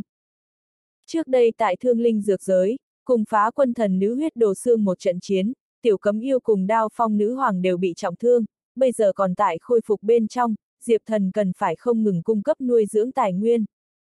Trong tay hắn bên trên, cũng không có dư thừa thiên tài địa bảo, có thể dùng tới chế tạo tuyệt mệnh hộp kiếm. Xem tinh hải công bộ dáng, tựa hồ cũng không nguyện ý điều động tài nguyên, Diệp Thần càng không khả năng triệu hoán nhậm phi phàm. Lập tức, cục diện liền lâm vào đình trệ, tiến thối không được, Diệp Thần cũng thấy khó giải quyết cực điểm. Trong lúc nhất thời, Diệp Thần cũng không có có gì tốt biện pháp, đành phải trước về đến phòng bên trong nghỉ ngơi, đem mật gấu thiên lộc rượu uống cạn, ngồi xếp bằng, yên lặng điều tức khôi phục nguyên khí. Đêm đã khuya, phương xa tuyệt mệnh thiên kiếm, nguy nga vạn trượng, như tuyên cổ tản ra khiếp người xâm nghiêm khí tức, phía trên quấn đầy từng đầu huyết sắc xiềng xích, ở dưới bóng đêm lộ ra 10 điểm thê lương. Huyết sắc xiềng xích tồn tại, chẳng qua là cấm tiệt người cầm kiếm, cũng không có khóa lại thiên kiếm phong mang, cả thanh tuyệt mệnh thiên kiếm, vẫn là phong mang tất lộ, sát phạt bừng bừng, thiên đế tới gần đều có thể muốn bị xoắn nát, mong muốn hàng phục thanh kiếm này, tự nhiên muôn vàn khó khăn. Diệp thần một bên điều tức, khôi phục tự thân nguyên khí, một bên suy nghĩ lấy đối sách. Luân hồi chi chủ, tới tâm sự đi. Ngay lúc này, Diệp thần nghe được tinh hải công truyền âm, thanh âm kia mang theo dã rời chi ý. Diệp thần trong lòng khẽ động, suy nghĩ, chẳng lẽ tinh hải công hồi tâm chuyển ý, nguyện ý cầm bỏ tài nguyên. Hắn liền lập tức theo tiếng tìm kiếm, đi vào một tòa gian phòng trước mặt, cảm nhận được tinh hải công liền tại bên trong, kêu một tiếng tinh hải công. Tinh hải công nói, vào đi, cửa không có khóa. Diệp thần liền đẩy cửa đi vào, chỉ thấy gian phòng kia lại có thể là một cái thư phòng, bên trong bày đầy các thức thư tịch, là thi từ ca phú, kinh, sử, tử, tập loại hình sách. Tinh Hải Công đang đứng tại một cái giá sách trước, lật lên một bản thi tập, nhìn thấy Diệp Thần tới, hắn cười khổ một tiếng, nói, luân hồi chi chủ, người đến rồi. Diệp Thần ngạc nhiên nói, Tinh Hải Công, nguyên lai like người còn thích xem sách. Tinh Hải Công cười khổ lắc đầu nói, không phải, thư phòng này là phu nhân ta bố trí, nàng nói tu vi đến ta cảnh giới này, mặc kệ là luyện võ, tu tiên, tu ma, xâm Phật, đều khó mà lại tiến thêm, bởi vì hệ thống tu luyện đã đi đến cuối con đường, đằng trước không nhìn thấy đường. Siêu phẩm thiên đế, nhưng thật ra là một con đường khác, muốn tìm đến con đường này, liền cần tu tâm, nàng gọi ta nhìn nhiều sách tu tâm dưỡng tính, nhưng ta chỉ thích uống rượu, đối đọc sách có thể hứng thú gì. Hắn đem trong tay thi tập thả lại giá sách, lại sâu sắc nhấn một cái, giá sách thế mà toàn bộ đảo chuyển tới, lộ ra một cái cửa ngầm, nguyên lai like thế mà đừng có cơ quan. Đi theo ta, ta dẫn người đi xem ít đồ. Tinh Hải công dọc theo cửa ngầm, đi vào. Diệp thần trong lòng tò mò, cũng đi theo vào. Cửa ngầm sau là một cái thông đạo, một mực thông hướng dưới mặt đất, lối đi chật hẹp hắc ám, không khí có chút ngưng động im lìm, hai người một trước một sau tiến lên. Đi chỉ chốc lát, Diệp thần thấy được ánh sáng, đi đến cuối lối đi, trước mắt đột nhiên sáng lên, không khí cũng biến thành tươi mát dâng lên. Cuối lối đi, lại là một tòa rộng rãi cung điện dưới đất. Này tòa cung điện dưới đất, mái vòm tựa như là chân thật tinh không, sao lốm đốm đầy trời, minh nguyệt trong sáng, không khí tương đương nhẹ nhàng khoan khoái, phía dưới trong cung điện, chất đầy là dược liệu, san hô, chân châu, khoáng vật các loại thiên tài địa bảo, rực rỡ muôn màu, đong đưa mắt người hoa. Đây là... Diệp thần nhìn xem này tòa rực rỡ cung điện dưới đất, lập tức có chút giật mình. Tinh Hải công thở dài một tiếng, nói, là thê tử của ta Khương Khiếu Vân lưu lại bảo tàng, nàng là sáng tạo đạo nhai thánh nữ, bất quá nàng lúc trước phát ta tính tình, mang theo nữ nhi về nhà ngoại. Diệp thần nói, sáng tạo đạo nhai, tựa hồ cũng là thiên tổ thất giới một trong A. Hắn nhớ rõ, thiên tổ thất giới, sáng tạo đạo nhai chính là thứ nhất. Tinh Hải công gật đầu nói, không sai, Vân Nhi nàng chính là sáng tạo đạo nhai thánh nữ. Năm đó thất giới luận đạo thời điểm, ta nắm nàng quá chén, nàng mơ mơ hồ hồ liền theo ta, hắc hắc, đây thật là. Biểu lộ có chút xấu hổ, lại có chút đắc ý. Diệp thần ho khan một thoáng, cung duy đạo, xem ra tiền bối năm đó thủ đoạn cũng là lợi hại a. À. Tinh Hải công xấu hổ cười một tiếng, khoát tay một cái nói, không có gì, đều đi qua. Chợt hắn lại thở dài một tiếng, nói ta có lỗi với Vân Nhi. Diệp thần hỏi, vì sao? Tinh Hải công nói, nàng nhìn Phu Thành Long, nhưng ta như thế phế vật. Nàng muốn cho ta chứng đạo siêu phẩm thiên đế, tại lần sau thất giới luận đạo thời điểm, nhất thống thất giới, thành làm bá chủ, ta nói nàng đầu óc bị hư, siêu phẩm thiên đế nơi nào có dễ dàng như vậy bước vào, bây giờ thiên đạo suy sụp đến lợi hại, chứng đạo siêu thiên gần như không có khả năng. Mà lại ta coi như thành siêu phẩm thiên đế, cái gì nhất thống thất giới, ta cũng không quá mức hứng thú. Nàng rất thất vọng, lại gặp ta ngày ngày uống rượu, không cầu phát triển, nàng trong cơn tức giận, liền dẫn tinh diên cách ta mà đi, đó là nữ nhi của ta, các nàng đều về nhà ngoại đi. Diệp thần hiểu được, nhưng cũng không dễ ngắt lời, dù sao đây là tinh hải công hai giữa phu thê mâu thuẫn, hắn một ngoại nhân, không tiện xem xét. Tinh hải công chỉ lên trước mắt cái kia rực rỡ cung điện, vô tận thiên tài địa bảo, nói, những bảo bối này, đều là Vân Nhi thiên tân vạn khổ thay ta thu thập, thậm chí có không ít chân bảo, là nàng theo nhà mẹ đẻ bên kia vụng trộm mang ra. Nàng muốn dùng những bảo bối này, giúp ta đột phá thiên đế, chứng đạo siêu thiên, ta nói chứng đạo siêu thiên tuyệt đối không thể, này rất nhiều chân bảo, không bằng cho ta lấy ra cất rượu, hắc hắc. Diệp thần nói, tinh hải công, người thực sự là. Tinh hải công cười ha ha một tiếng, nói thật có lỗi, ta này thích rượu như mạng tính tình, xem ra là không đổi được, bất quá nghĩ là một chuyện, ta cũng không dám động Vân Nhi lưu lại bảo tàng, bằng không đợi nàng tương lai trở về, thật là muốn tìm ta liều mạng. Ai, bất quá, đều đã qua không biết nhiều ít cái kỷ nguyên, nàng cũng từ đầu đến cuối không có trở về, người đi theo ta đi, ta dẫn người đi xem một vật. Nói xong đi về phía trước. Diệp thần trong lòng tò mò, đi theo tinh hải công tiến lên, hai người bước vào trong cung điện, đi vào cung điện chỗ sâu, đã thấy đến một khối điêu mây khảm long ngọc bích, phía trên khắc đầy phù văn cùng đồ hình, tản mát ra xương trắng hào quang, rất có linh khí. Đây là... Diệp thần đi vào ngọc bích trước, liền lập tức bị ngọc bích khí tượng hấp dẫn. Đây là thiên quang ngọc bích, phía trên điêu khắc thiên quang luân hồi trảm pháp môn tu luyện, vốn là sáng tạo đạo nhai đồ vật, là Vân Nhi vụng trộm mang tới cho ta, nói ta chỉ cần có thể luyện thành ngọc bích bên trên pháp môn, liền có cơ hội xây dựng mới đường, chứng đạo siêu phẩm thiên đế. Ha ha, dùng bây giờ thiên đạo chi suy, chứng đạo siêu thiên, lại nói thì dễ làm mới khó làm sao. Ta mang khô kiếm si lão quỷ kia đến xem qua, hắn đã học thành môn này thiên quang luân hồi trảm nhưng ngươi nhìn dáng vẻ của hắn, điên điên khùng khùng, nơi nào có nửa điểm chứng đạo siêu thiên bộ dáng. Tinh Hải công nhẹ nhàng lắc đầu, cho Diệp Thần giảng giải Ngọc Bích lai lịch. Thiên quang luân hồi chảm.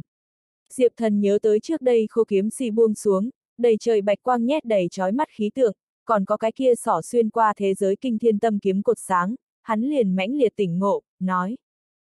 Nguyên lai một kiếm kia, liền là thiên quang luân hồi chém. Tinh Hải công nói, đúng vậy, thiên quang luân hồi chảm, ẩn chứa vạn tượng điên đảo, âm dương luân hồi vô thượng áo nghĩa, là thiên tổ sáng tạo vô thượng kiếm pháp, đỉnh phong uy lực có khả năng chém vỡ thiên đạo, thiên đạo cũng đỡ không nổi một kiếm này, đây là đủ để chảm phá thế giới nhất kiếm.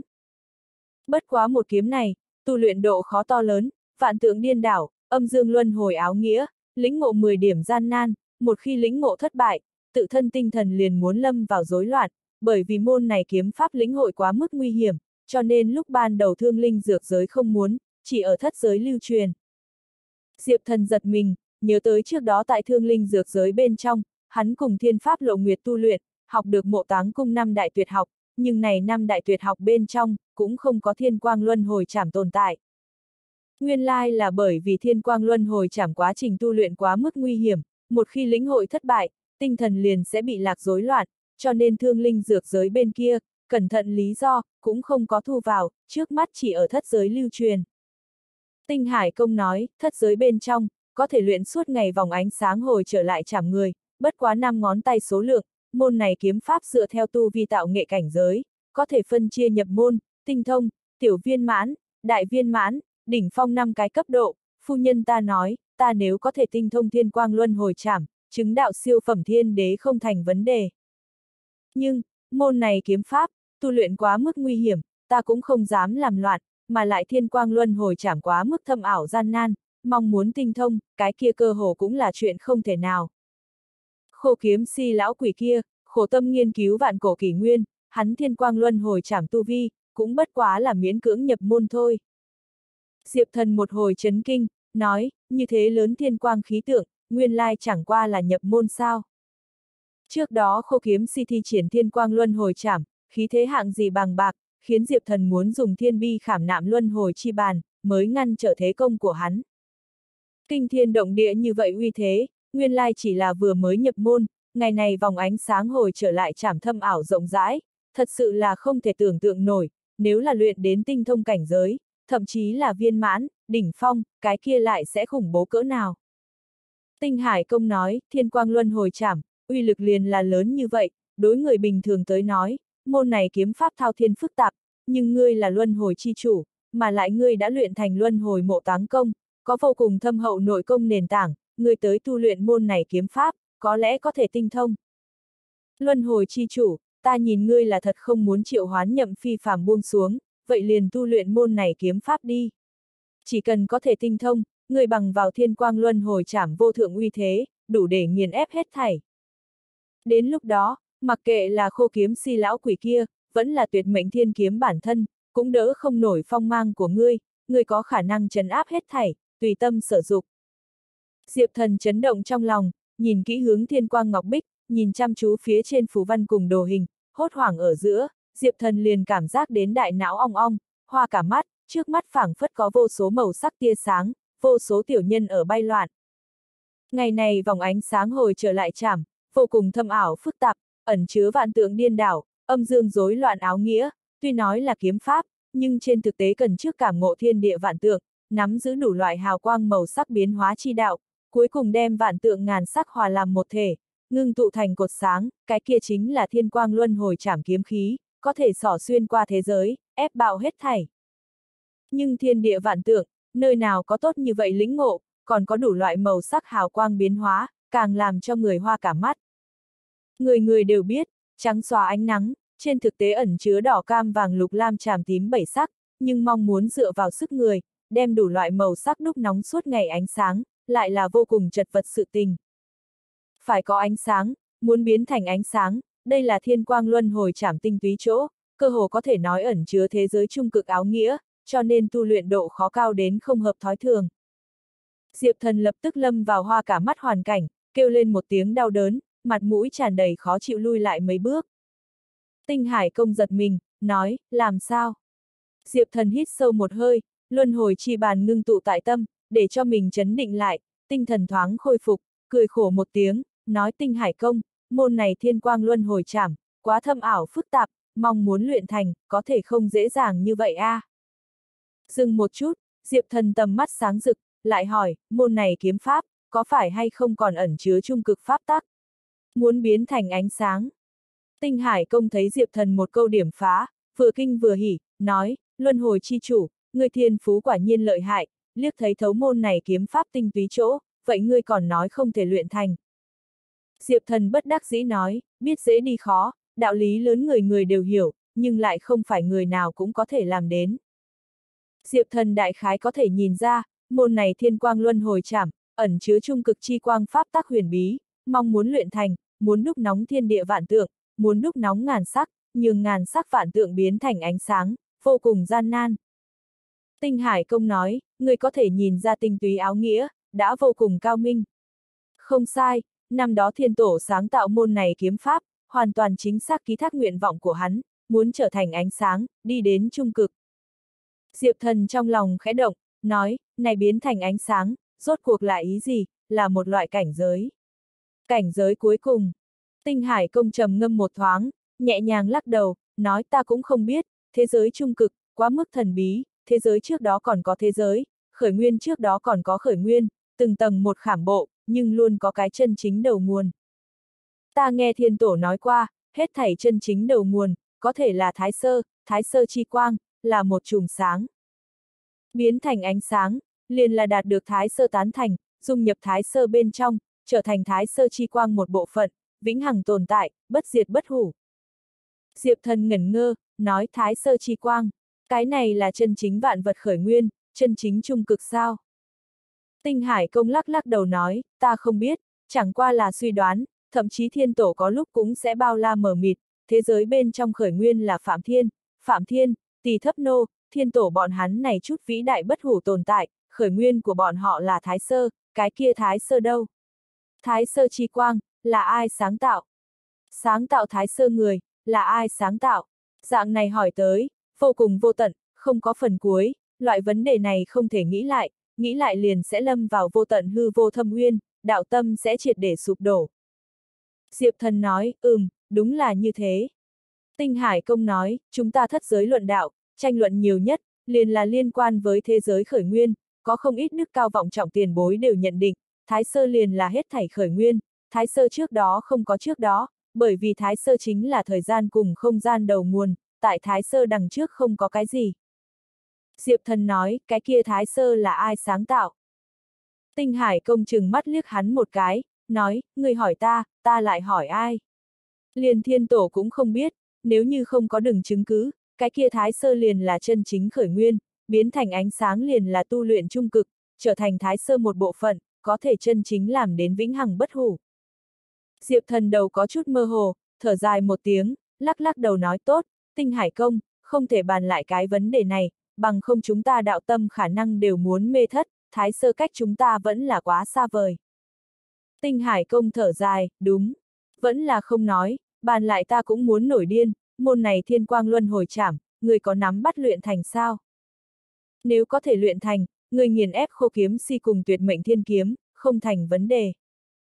Diệp thần thần sắc lập tức trở nên ngưng trọng, vừa nhìn về phía thiên quang ngọc bích, cẩn thận phỏng đoán phía trên ngàn sắc vạn tượng áo nghĩa biến hóa, nói, môn này kiếm pháp quá mức thâm ảo, coi như là dùng thiên phú của ta ngộ tính, tu luyện cũng là 10 điểm gian nan, coi như có thể luyện thành, cũng không phải một hai ngày có thể làm được, ít nhất phải cho ta một tháng thời gian. Tinh Hải Công nói, một tháng. Vậy thì chờ đi, ha ha, ngược lại tuyệt mệnh thiên kiếm cũng sẽ không chạy, khô kiếm si lão quỷ kia, còn không có năng lực này có thể thu hạ tuyệt mệnh thiên kiếm. Ừm, ta dự cảm đến, ban thiên đế cũng nhanh buông xuống, bất quá hắn đồng dạng không có tư cách. Tuyệt mệnh thiên kiếm quá mức xuất sắc, không áp chế cái kia phong mang, dám cưỡng ép cầm kiếm, chỉ có bị xoắn thành mảnh vỡ xuống tràng. Tinh Hải công ý nghĩ, là muốn Diệp Thần triệu hoán nhậm phi phàm xuống tới, mang đi tuyệt mệnh thiên kiếm.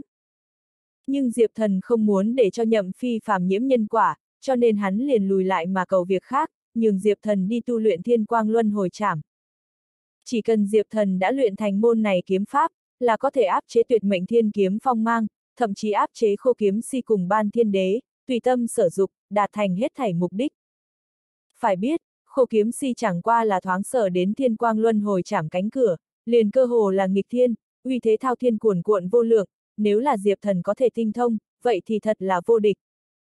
Diệp Thần nhếch nhếch miệng, biểu lộ khó coi, nói, muốn ta tại đây bên trong tu luyện một tháng. Ngô, thời gian kéo dài lâu như vậy, chỉ sợ sẽ có vô cùng biến cố phát sinh.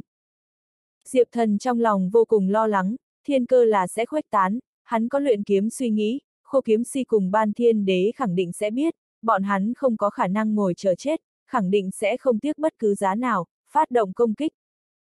Diệp thần nếu như tại luyện kiếm trên đường, gặp cái gì công kích quấy dày, cái kia tùy thời đều muốn tẩu hỏa nhập ma, thậm chí đạo tâm sụp đổ, linh hồn ma diệt chết đi.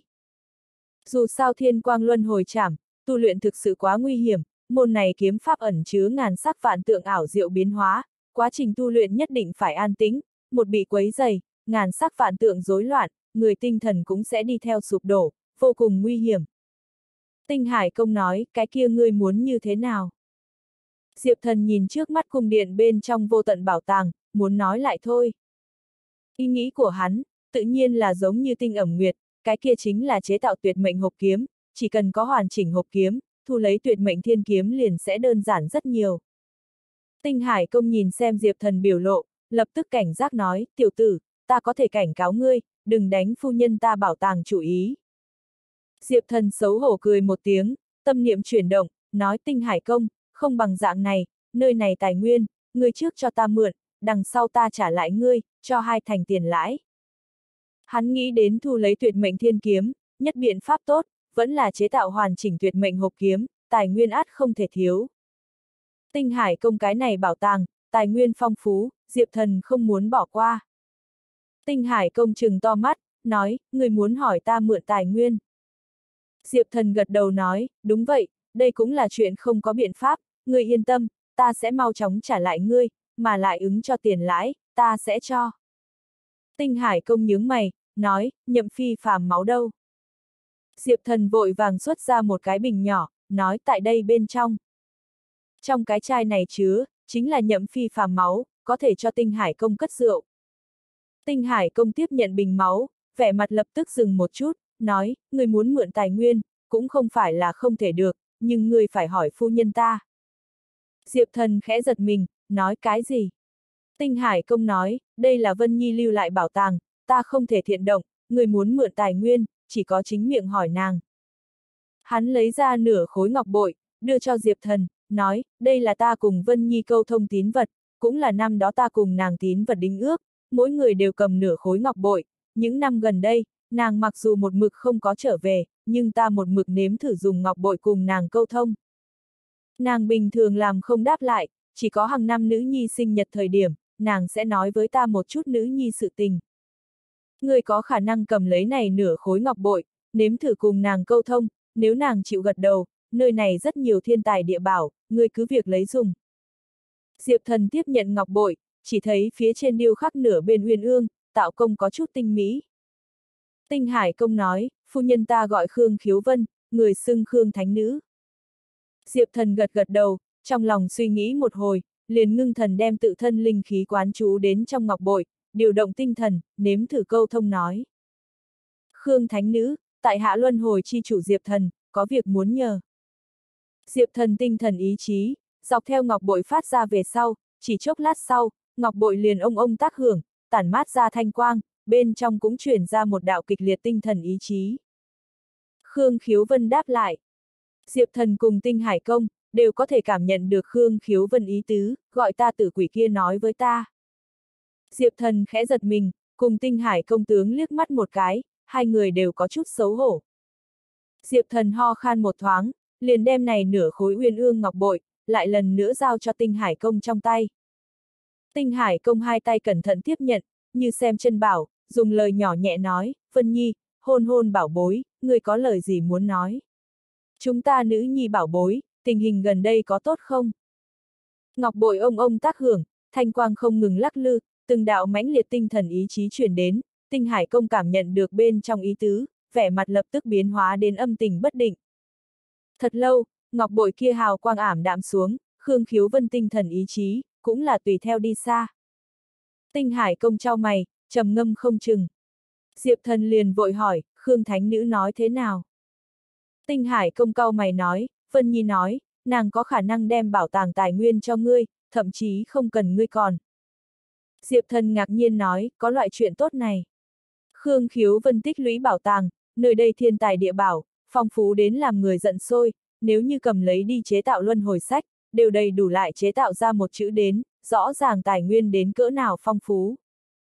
Nhiều như vậy tài nguyên, nếu là Khương Khiếu Vân chịu tặng không cho Diệp Thần, vậy thì thật là cơ duyên to lớn, chỗ tốt cực lớn. Tinh Hải công trầm giọng nói, dĩ nhiên không có đơn giản như vậy, Vân Nhi nói, người nếu muốn sử dụng bảo tàng, dâu phải nghĩ biện pháp tướng tinh diên theo sát thiên điện mang về. Diệp thần nói, tinh diên, sát thiên điện. Tinh Hải công nói, ừm, tinh diên là nữ nhi của ta, nàng tính tình nhảy thoát cực kỳ, năm đó Vân Nhi mang nàng về nhà ngoại, nàng cũng ngồi không yên, ngược lại chạy đi Nam Châu Thiên, bái nhập sát thiên điện tọa hạ. Cái kia sát thiên điện là từng câu trải qua thiên hạ đệ nhất sát, thiên nam tu sáng tạo thế lực, cũng là Nam Châu Thiên Tam đại bá chủ thế lực một trong. Cái kia sát thiên điện điện chủ thiên nam tu, đối với con gái ta cũng rất thích, đã coi nàng là thành thân truyền đệ tử, dốc lòng vun trồng, thậm chí muốn cho nàng tương lai kế thừa sát thiên điện điện chủ đại vị. Diệp thần nói, đây không phải chuyện tốt sao? Tinh Hải công lắc đầu nói, cũng không phải, cũng không phải, Nam Châu Thiên Tam đại bá chủ thế lực, lẫn nhau tranh đấu chém giết, rất thảm thiết, nữ nhi của ta nếu là chấp trưởng sát thiên điện, chẳng phải là muốn thành mục tiêu công kích, gặp vây công. Vậy nhưng cực kỳ không ổn. Mà lại ngày đó Nam Tu, đã từng là không không lúc nào không luân hồi địa ngục thủ ngục người, chịu địa ngục âm khí ăn mòn, thân hóa tu la, tà khí cực kỳ, năm đó từng nổi điên nghĩ nhất thống kỷ nguyên, kết quả bị đấu chiến thần hạ gục, liền chạy mệnh đến Nam Châu Thiên, nghỉ ngơi lấy lại sức, giấu tài, sau này lại sáng lập sát thiên điện. Tên kia thân đọa ma âm, nữ nhi của ta thành hắn thân truyền đệ tử, nếu là cũng lây dính ma âm khí, chẳng phải là hỏng bét rất. Từ khi nàng bái nhập sát thiên điện tọa hạ về sau, ta cùng Vân Nhi vẫn muốn thuyết phục nàng về nhà, nhưng nàng Thủy Trung không chịu, ai, thật sự là phản nghịch a. Diệp thần trong lòng khẽ động, nói ta hiểu được, Khương Thánh Nữ y tứ, là muốn gọi ta ra tay, mang tinh diên cô nương về nhà. Tinh Hải Công nói, đúng vậy, việc này cực kỳ gian nan, thậm chí so chiếm lấy tuyệt mệnh thiên kiếm còn gian nan. Nữ nhi của ta tính tình rất quật cường, nàng khăng khăng muốn lưu tại sát thiên điện, tương lai kế thừa thiên nam tu y bát, tâm ý đã quyết, đó là tám đầu châu đều kéo không trở lại. Diệp thần trầm ngâm một thoáng, nói ta không có đi qua Nam Châu Thiên, cũng chưa từng thấy qua tinh diên cô nương, muốn dẫn nàng về nhà, hoàn toàn chính xác không quá dễ dàng. Khương khiếu vân ủy thác, tuyệt đối không đơn giản, Diệp thần tự nhiên cũng hiểu rõ điểm này, nhưng nhìn trước mắt vô cùng phong phú bảo tàng, hắn càng không muốn bỏ lỡ, nhân tiện nói. Tinh Hải Công, ta có khả năng nếm thử, nhưng không nhất định cam đoan thành công. Tinh Hải Công nghe được Diệp Thần đáp ứng, con người lập tức sáng lên, gật đầu nói, ngươi chịu nếm thử hỗ trợ, vậy cũng tốt cực kỳ, nếu có thể thành công, tướng Tinh Diên mang về nhà, người nghĩ muốn bao nhiêu bảo tàng, ta cùng Vân Nhi đều sẽ tận lực thỏa mãn ngươi. Ừm, nếu là thất bại, ngươi đến bồi thường gấp đôi tài nguyên. Diệp thần khóe miệng lập tức giật một thoáng, nói gấp đôi. Hắn mượn tài nguyên, nhiều nhất chỉ muốn còn hai thành tiền lãi mà thôi, tinh hải công gọi hắn bồi thường gấp đôi, vậy thì thật là công phu sư tử ngoạm. Nơi này tài nguyên, phong phú đến đáng sợ, coi như là Diệp thần muốn nhận tập hợp nhiều như vậy tài nguyên, cũng cần trả giá to lớn tâm huyết, bồi thường gấp đôi, cái kia càng là muốn chết. Tinh Hải Công nói, đúng vậy a, à, nơi đây bảo tàng, rất nhiều thiên tài địa bảo, đều là Vân Nhi dốc hết tâm huyết thu thập, thậm chí có không ít, là nàng vụng trộm theo nhà mẹ đẻ sáng tạo đạo nhai mang tới, người mong muốn mượn dùng, tự nhiên đến trả giá một chút. Hoặc là người nghĩ biện pháp, tướng tinh diên mang về, hoặc là về sau bồi thường gấp đôi. Tinh Hải Công trong giọng nói, đối chỗ này bảo tàng, cũng là 10 điểm yêu quý, cũng không muốn cấp cho Diệp Thần, dù sao chỗ này bảo tàng, ngưng tụ vợ hắn rất rất nhiều tâm huyết, vốn là muốn trợ lực hắn chứng đạo siêu phẩm thiên đế, chẳng qua là hắn không dám chứng đạo thôi. Diệp thần khẽ cắn môi, trong lòng suy nghĩ cân nhắc một phiên, lúc này bây giờ không có cái khác càng dễ phá hơn cục chi pháp, chỗ này bảo tàng đối với hắn phi thường trọng yếu, hắn cuối cùng gật đầu nói. Được a, à, tinh hải công, ta đáp ứng ngươi. Nghe được Diệp thần đáp ứng, tinh hải công lập tức mừng tít mắt, nói tốt, luân hồi hứa một lời, ta nhớ kỹ. Ha ha, nơi này bảo tàng, ngươi liền cứ việc vận dụng đi. Hắn nghĩ đến hiệp nghị đạt thành, thật sự là tất kiếm bổn không lỗ, hoặc là Diệp Thần đưa hắn nữ nhi mang về nhà, hoặc là tương lai bồi thường gấp đôi tài nguyên, hắn ngồi thu lời nhiều. Diệp thần tức giận, yên tâm, tinh hải công, ta nhất định nghĩ biện pháp đưa người nữ nhi mang về. Tinh hải công cười tủm tỉm nói tốt, nơi đây bảo tàng, toàn về ngươi, ngươi muốn cầm tới chế tạo tuyệt mệnh hộp kiếm, xin cứ tự nhiên, ha ha, ta ra ngoài trưng cất rượu. Hắn lay động một thoáng nhậm phi phàm cái kia bình siêu thiên đế huyết, vừa lòng thỏa ý, liền quay người rời đi. Cung điện dưới đất bên trong, chỉ còn lại có Diệp Thần một người. Diệp Thần hít sâu một hơi, bình tĩnh trở lại, trước mặc kệ tương lai, ít nhất hiện tại, này bảo tàng là của hắn rồi. Hắn khoanh chân ngồi xuống, trước ngưng thần lại quan sát thiên quang ngọc bích, lĩnh hội thiên quang luân hồi trảm diệu pháp. Môn này kiếm pháp phức tạp thâm ảo, coi như là dùng diệp thần ngộ tính thiên phú, cũng không có khả năng nói một sớm một chiều liền có thể luyện thành. Bất quá diệp thần tâm tư 10 điểm nhạy cảm, hắn trước đem thiên quang luân hồi trảm hết thảy bí quyết đồ hình, ngàn sắc vạn tượng biến hóa pháp tắc, cơ thể người khí thế lưu chuyển chi pháp, toàn bộ học bằng cách nhớ minh nhớ kỹ, mà đối đãi tương lai thời cơ đã đến lại đi lĩnh ngộ. Sau đó, Diệp Thần đem cung điện dưới đất bên trong, một bộ phận thiên tài địa bảo mang tới, bổ sung đến tuyệt mệnh hộp kiếm bản vẽ bên trong đi. Này phần bản vẽ tự mang trận pháp nhân quả luật, chỉ cần hướng bên trong bổ sung đến đầy đủ tài nguyên, tài nguyên liền sẽ hóa thành thuần túy năng lượng, cuối cùng tự động rèn đúc thành tuyệt mệnh hộp kiếm, không cần sức người khống chế, 10 điểm thuận tiện. Diệp thần bổ sung tài nguyên trở ra, chỉ cần chờ đợi là đủ. Khương Khiếu Vân lưu lại bảo tàng, 10 điểm phong phú, Diệp thần chỉ điều động 4 thành, liền đầy đủ chế tạo hoàn chỉnh tuyệt mệnh hộp kiếm. Còn lại tài nguyên, hắn dùng tới rèn đúc thanh liên phân thân, cường hóa bất hủ phong bia, lại phân phát cho huyết long cùng chú tinh long thần, để bọn hắn khôi phục linh khí, cuối cùng lại đem đại lượng thiên tài địa bảo, phân cho tiểu cấm yêu cùng đao phong nữ hoàng, để bọn hắn chữa thương.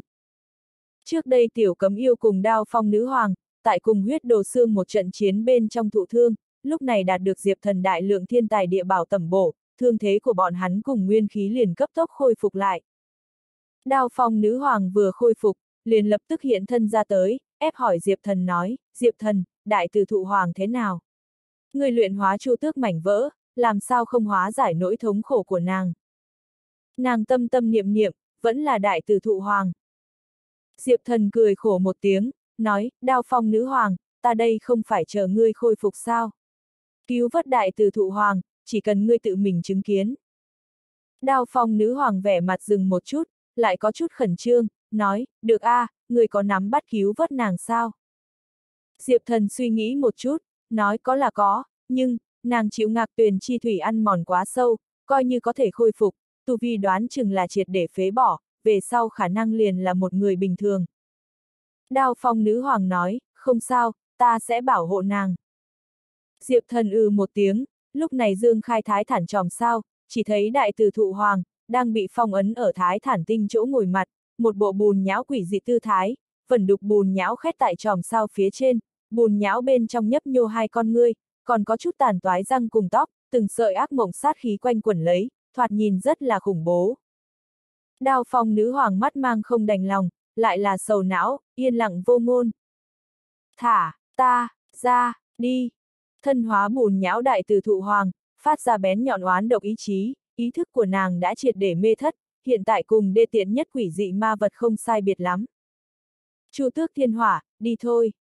Diệp thần im lặng, cong ngón búng ra, điều động thần giáp mệnh tinh chu tước năng lượng, lập tức, một đầu liệt hỏa chu tước sông bay mà ra, mang theo kinh thiên nóng bỏng nhiệt độ cao, khí tức chi nóng rực, thậm chí so với thiên hỏa mệnh tinh còn kinh khủng hơn. Lệ! Chu tước trường minh, chỉnh đầu liệt hỏa chu tước, vò tới thái thản tinh chỗ ngồi mặt, kịch liệt nhiệt độ cao tràn ngập bao phủ, lập tức đem cái kia một bãi bùn nhão phía trên ác mộng sát khí, điên cuồng bốc hơi đi.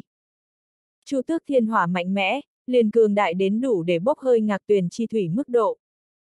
Ác mộng sát không ngừng bốc hơi, làm cho đại từ thụ hoàng phát ra thê lương bén nhọn tiếng kêu thảm thiết, bùn nhão chỗ sâu nhất sát khí, cũng bị bức phải xông ra.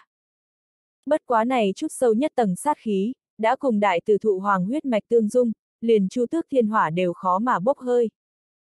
Diệp thần không chút hoang mang, lại tế ra túc mệnh chi hoàn, phía trên khảm nạm lấy thôn hồn quỷ châu, bộc phát ra kinh khủng thôn phệ chi lực, không ngừng thôn phệ đại từ thụ hoàng chỗ sâu ác mộng sát.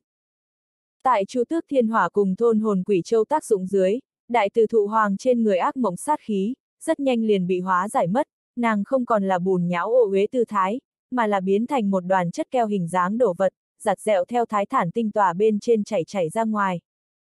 Này đoàn chất keo hình dáng đổ vật, trong suốt óng ánh, giống như là một đoàn nước mũi ngưng tụ mà thành, phía trên nổi lơ lửng đại từ thụ hoàng con mắt cùng răng còn có tóc, thoạt nhìn vẫn là vô cùng quỷ dị, vô cùng kinh khủng quái vật bộ dáng. Nàng ác mộng sát hóa giải, nhưng không có khôi phục hình người. Không, chuyện gì xảy ra, Diệp thần, nàng tại sao không có khôi phục? Đao phong nữ hoàng kinh dị, không thể nào tiếp thu được một màn trước mắt. Diệp thần nói, hình thân thể nàng trật tự, sớm đã bị ngạc tuyền chi thủy phá hủy, mong muốn một lần nữa thành lập trật tự, dĩ nhiên không thể dễ dàng như thế, bất quá nàng ý thức là khôi phục. Chỉ thấy đoàn kia quỷ dị chất keo hình dáng vật trong cơ thể, đại từ thụ hoàng con mắt tại chuyển động, lộ ra vô biên lúng túng cùng kinh khủng, nàng cũng biết mình là một bộ quỷ dị quái vật bộ dáng. Người thân thể, là giữa thiên địa hoàn mỹ nhất đồ vật, đại biểu cho tuyệt vời nhất trật tự, cho nên vô số yêu ma quỷ quái, đều muốn tu luyện thành hình người, chính là vì cái kia giữa đất trời, hoàn mỹ nhất trật tự hình dáng. Mà đại từ thụ hoàng trật tự hình dáng, sớm đã bị sử thần ngạc tuyền chi thủy phá hủy, nàng coi như khôi phục ý thức, cũng không dễ dàng như vậy khôi phục hình người. Cái kia, làm sao bây giờ? Cho nàng tái tạo thân thể sao? Đao phong nữ hoàng thần tâm một mảnh hỗn loạn, nghĩ đến tái tạo thân thể, đó cũng là hao phí không ít tâm huyết công phu, mà lại không nhất định phù hợp. Diệp thần nói, cái kia cũng không cần, ta nhường thời gian quay lại là đủ. Ngay sau đó, Diệp thần tay bóp quyết, sau lưng có vũ trụ tinh không tranh cảnh hiển hiện, đó là vũ trụ mệnh cách khí tượng, hắn thi triển ra vũ trụ mệnh cách thời gian pháp tắc, lập tức, chỉ thấy bóng mặt trời, tinh đồ, khuê biểu, lỗ hồng khác các loại, ẩn chứa thời gian áo nghĩa đổ đằng, từng đạo thời gian pháp tắc đường cong, không ngừng dung nhập đại từ thụ hoàng trong cơ thể. Cô lỗ lỗ. Đại từ thụ hoàng chất keo hình dáng thân thể, rất nhanh liền xuất hiện biến hóa, dần dần khôi phục hình người. Đây là Diệp Thần sử dụng thời gian quay lại năng lực, nhưng đại từ thụ hoàng thân thể, quay lại đến trước kia hình người Thái. Thời gian quay lại như vậy thủ đoạn, có thể nói là nghịch thiên cấm kỵ, Diệp Thần cũng không có xâm nhập quá sâu sử dụng, chỉ khôi phục đại từ thụ hoàng hình người, đến mức tu vi của nàng, cái kia cũng không có khôi phục. Mà lại coi như nghĩ khôi phục tu vi của nàng, Diệp Thần cũng làm không được, sau lưng liên lụy nhân quả quá sâu nặng, hắn chỉ có thể hồi tưởng một chút tương đối bình thường đồ vật.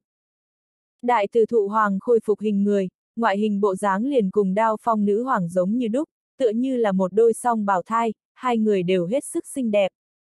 Đại từ thụ hoàng Đao phong nữ hoàng nhìn thấy vừa mới vẫn là chất keo hình dáng quái vật đại từ thụ hoàng, lúc này khôi phục hình người, lập tức kích động không thôi, hai mắt mang theo nước mắt, tiến lên ôm thật chặt đại từ thụ hoàng.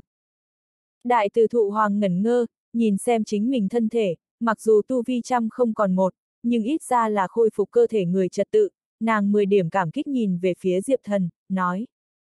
Luân hồi chi chủ, đa tạ cứu giúp. Diệp Thần cười cười nói, không sao, người không có việc gì liền tốt. Đao phong nữ hoàng vội vàng nói, Diệp Thần cứu được ngươi, ngươi có thể được thật tốt báo đáp, võ tổ tọa độ cụ thể là ở đâu. Nàng biết Diệp Thần quan tâm nhất, liền là võ tổ hạ lạc, mà đại từ thụ hoàng, đã từng phụng hiên viên vương mệnh lệnh, tiến vào sụp đổ di tích cổ, tìm kiếm võ tổ, mà lại nàng thật đúng là tìm được. Đại từ thụ hoàng nghe được đao phong nữ hoàng yêu cầu, lập tức có chút trần chờ, nói, luân hồi chi chủ, người thật muốn đi giải cứu võ tổ sao?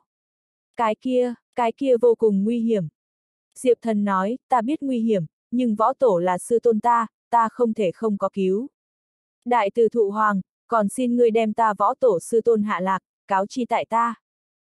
Đại từ thụ hoàng suy nghĩ một chút, lấy ra một bản bằng đá quyển trục, nói, được a, à, đây là võ tổ tọa độ cầu, luân hồi chi chủ, ngươi tốt nhất cầm lấy, chỉ cần ngươi đi đến sụp đổ di tích cổ, bày ra tọa độ cầu, liền có thể xác định võ tổ hạ lạc. Diệp thần nhãn tình sáng lên, vội vàng cầm qua quyển trục, chỉ cảm thấy chịu nặng như đá đầu chế tạo, liền muốn mở ra. Đại từ thụ hoàng nói ấy, hiện tại không nên mở ra, ngươi cũng không phải lập tức đi ngay cứu người, ngươi bây giờ mở ra, thiên cơ bộc lộ ra đi, cổ tinh môn nhất định trước ngươi một bước, cái kia võ tổ có thể rất là nguy hiểm. Chờ ngươi về sau đi sụp đổ di tích cổ, lại mở ra cũng không muộn. Diệp thần nghĩ thầm cũng thế, liền gật gật đầu, thu hồi quyển trục, nói tốt, đa tạ. Dừng một chút, hắn lại hỏi, đúng rồi, sụp đổ di tích cổ lớn như vậy, phương viên có mấy chục vạn giảm, thậm chí trăm vạn giảm, ta võ tổ sư tôn, cũng không phải tượng đất điêu khắc, hắn tổng sẽ không một mực ở tại một chỗ A. Ngươi cho tọa độ của ta cầu, về sau còn có thể dùng. Một phần vạn vị trí hắn biến động. Đại từ thụ hoàng nói, yên tâm, ta lúc đầu theo dõi qua võ tổ, nhặt được hắn làm đã dùng qua thạch khí, quyền trục này kỳ thật liền là dùng cái kia thạch khí chế tạo thành, phía trên còn sót lại có võ tổ khí tức, mặc kệ hắn đi ở đâu, quyền trục này đều có thể khóa chặt khí tức của hắn, xác định tọa độ, chỉ cần người khác còn tại sụp đổ di tích cổ. Diệp thần nói, người cũng là lợi hại, thế mà còn có thể theo dõi ta võ tổ sư tôn. Đại từ thụ hoàng lắc đầu nói, không phải, ta suy đoán là võ tổ cố ý để cho ta theo dõi, cố ý để lại đầu mối, có thể là hắn suy tính đến những đầu mối này, cuối cùng sẽ rơi xuống trong tay ngươi, cho nên sớm bố cục. Diệp thần chấn động trong lòng, tự lẩm bẩm, thì ra là thế. Võ tổ sư tôn, tương lai của ta nhất định sẽ đi cứu ngươi. Đại từ thụ hoàng đem tọa độ cầu cho Diệp thần, liền cảm thấy một phần gánh nặng tháo xuống, thở dài một hơi, nói tốt, luân hồi chi chủ, có thể giúp ngươi, ta đều giúp ngươi, hiện tại ta chẳng qua là một người bình thường, người về sau đi cổ tinh môn, ta cũng không giúp được cái gì. Diệp thần nói, không sao, đại từ thụ hoàng, người có thể cho ta võ tổ sư tôn tọa độ, ta đã rất là cảm kích. người tiếp xuống có tính toán gì, nếu không chê, có thể lưu tại ta luân hồi trận doanh, ta sẽ bảo hộ ngươi. Đại từ thụ hoàng nói, ừm, luân hồi chi chủ, đa tạ hảo ý của ngươi, bất quá bây giờ ta muốn đi một chỗ.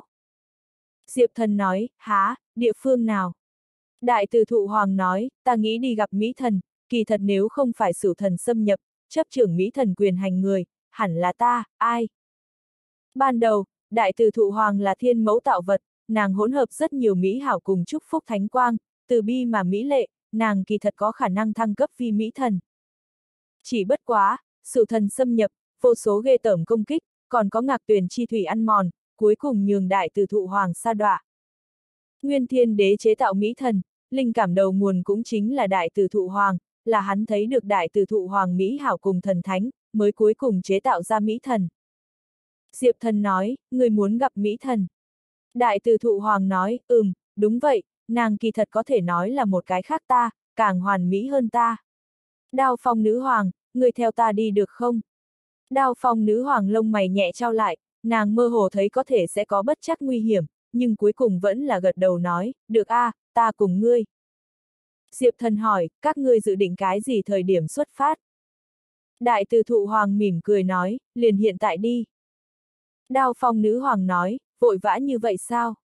Đại từ thụ hoàng nói, ừm, không có việc gì, nơi đây đủ loại nhân quả, ta tin tưởng luân hồi chi chủ có thể giải quyết, chúng ta có chúng ta nhân quả, đao phong nữ hoàng, người theo ta đi Mỹ thần lãnh địa đi một chuyến đi. Đao phong nữ hoàng nhún vai một cái nói, được a, à, vậy liền hiện tại đi. Diệp thần nói, vội như vậy, ngô, ta nhường tiểu la bạc cùng các ngươi cùng một chỗ đi. Ngay sau đó, Diệp thần đem tiểu cấm yêu gọi ra, vừa mới mượn nhờ nơi này rất nhiều thiên tài địa bảo, tiểu cấm yêu khí tức cũng khôi phục được không sai biệt lắm. Đao phong nữ hoàng cười nói, cái kia rất tốt, đa tạ.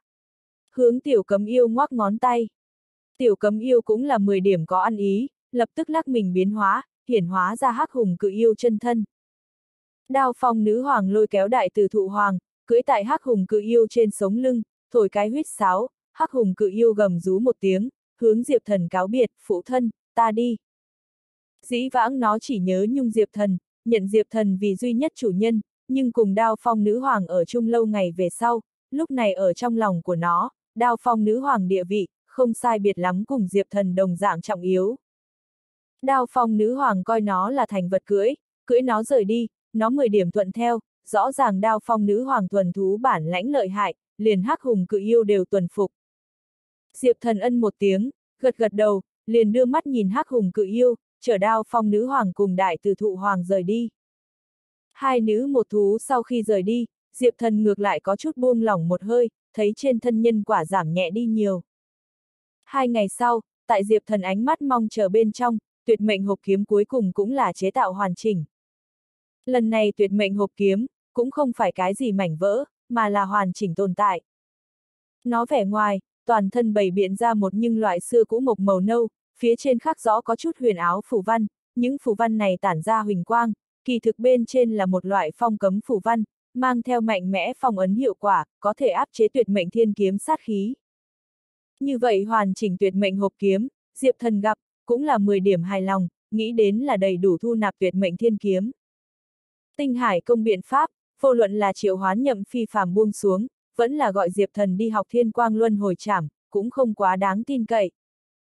Triệu hoán nhậm phi phàm từ không cần phải nói, Diệp Thần sẽ không dễ dàng phiền toái người trước, đến mức ngày đó vòng ánh sáng hồi trở lại chảm, ngàn sắc vạn tượng phức tạp biến hóa, đơn giản khó mà dùng ngôn ngữ hình dung. Hai ngày này Diệp Thần cũng chỉ là miễn cưỡng sở đến một chút da lông bên trong da lông, khoảng cách chân chính nhập môn, thậm chí tinh thông, còn có chút dài đằng đẵng khoảng cách. Trong lòng hắn, muốn nhận lấy tuyệt mệnh thiên kiếm, vậy dĩ nhiên là dùng tuyệt mệnh hộp kiếm ổn thỏa nhất. Hoàn chỉnh tuyệt mệnh hộp kiếm chế tạo ra tới về sau, tinh hải công liền xuất hiện tại Diệp Thần trước mặt, nhìn xem ngày xưa bảo tàng phong phú cung điện dưới đất, lúc này đã trống rỗng một mảnh, hết thảy thiên tài địa bảo, cơ hồ đều bị Diệp Thần tiêu hao sạch sẽ, hắn liền 10 điểm cảm khái, thở dài một tiếng, nói. Khá lắm, vì chế tạo cái hộp kiếm, người lại đem phu nhân ta bảo tàng rời trống. Diệp Thần cười một thoáng, nói, đó cũng không phải, chế tạo hộp kiếm, chỉ dùng ba bốn thành tài nguyên, mặt khác ta mặt khác dùng. Tinh Hải công con mắt híp lại, nói thôi, ta mặc kệ, tóm lại, bảo tàng đã cho ngươi, ngươi có nhớ, nhất định phải đem nữ nhi của ta tinh diên, theo Nam Châu Thiên Lý mang về A. Nếu không, người ăn hết bảo tàng, người cho ta gấp đôi phun ra, hắc hắc. Diệp thần cười khổ một tiếng, nói, nhất định, tiền bối xin yên tâm, ta sẽ tận lực. Tinh Hải công cười nói, vậy thì tốt. Hắn nhìn xem Diệp thần chế tạo ra tuyệt mệnh hộp kiếm, biểu lộ có biến đến có chút ngưng trọng xuống tới, nói, này hộp kiếm, hoàn toàn chính xác có khả năng thu nạp tuyệt mệnh thiên kiếm, nhưng ban thiên đế cùng khô kiếm si, sẽ không tùy ý ngươi vô ích cướp đi thanh kiếm kia. Diệp thần trong lòng run lên, nói, ban thiên đế đã tới sao? Tinh Hải công gật đầu nói, đúng vậy, hôm qua liền đã tới. Diệp thần nói, hôm qua liền đến rồi, ta làm sao một điểm khí tức đều không bắt được. Tinh Hải công cười hắc hắc nói, tên kia điệu thấp cực kỳ, đem khí thức hoàn toàn ẩn nấp, bất quá không thể gạt được ta, mà lại hắn còn muốn triệu hoán tinh ẩm nguyệt phụ nhân kia đi qua, nhưng kỳ quái là, này tinh ẩm nguyệt thế mà không đi, còn lưu tại nơi này.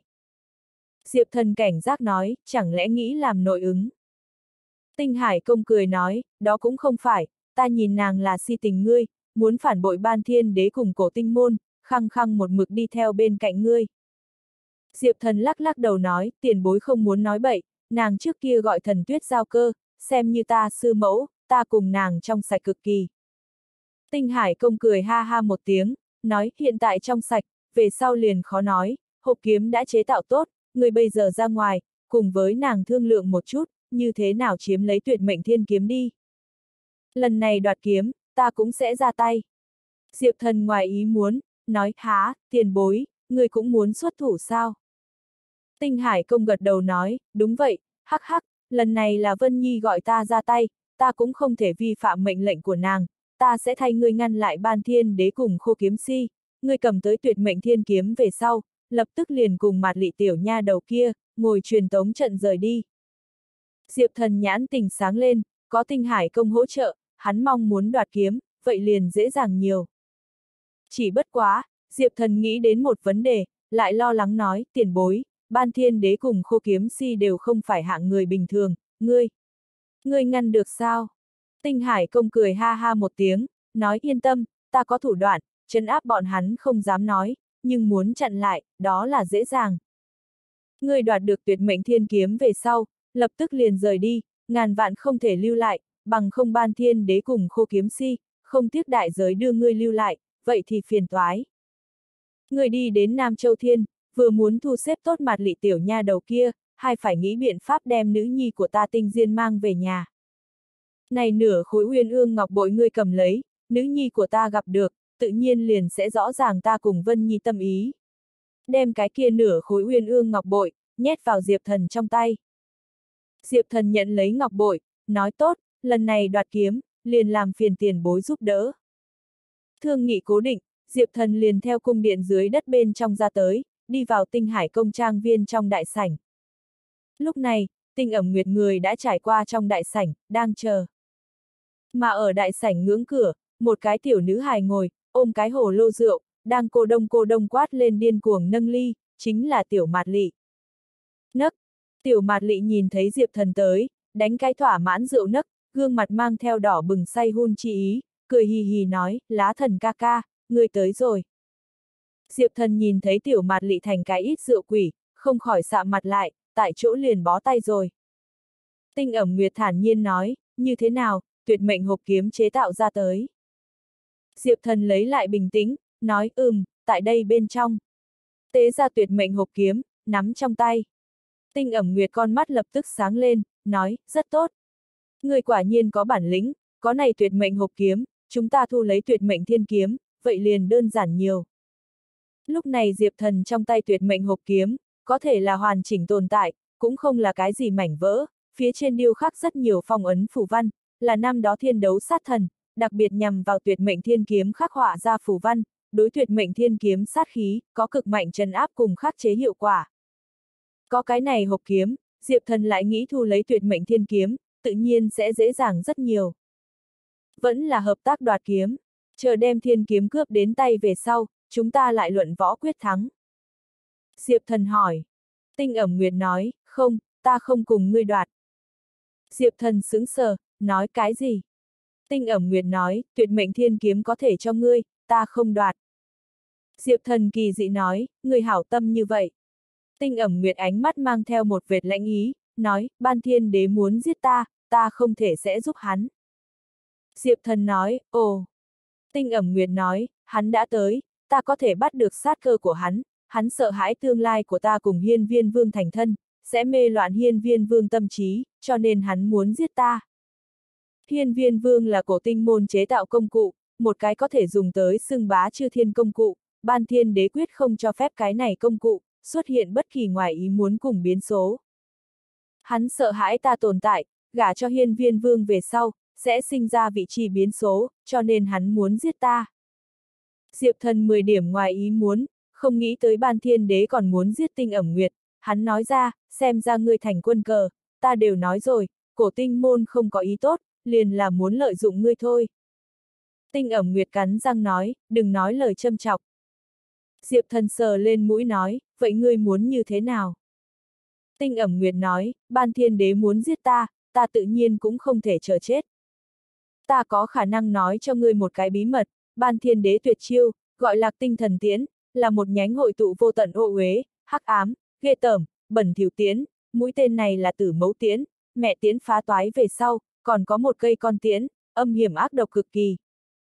Vạn cổ đến nay, căn bản không có người biết rõ ban thiên đế sát chiêu, cũng không có người biết rõ cái kia lạc tinh thần tiễn huyền bí, người biết đều đã chết. Diệp thần nói, vậy ngươi lại làm sao biết?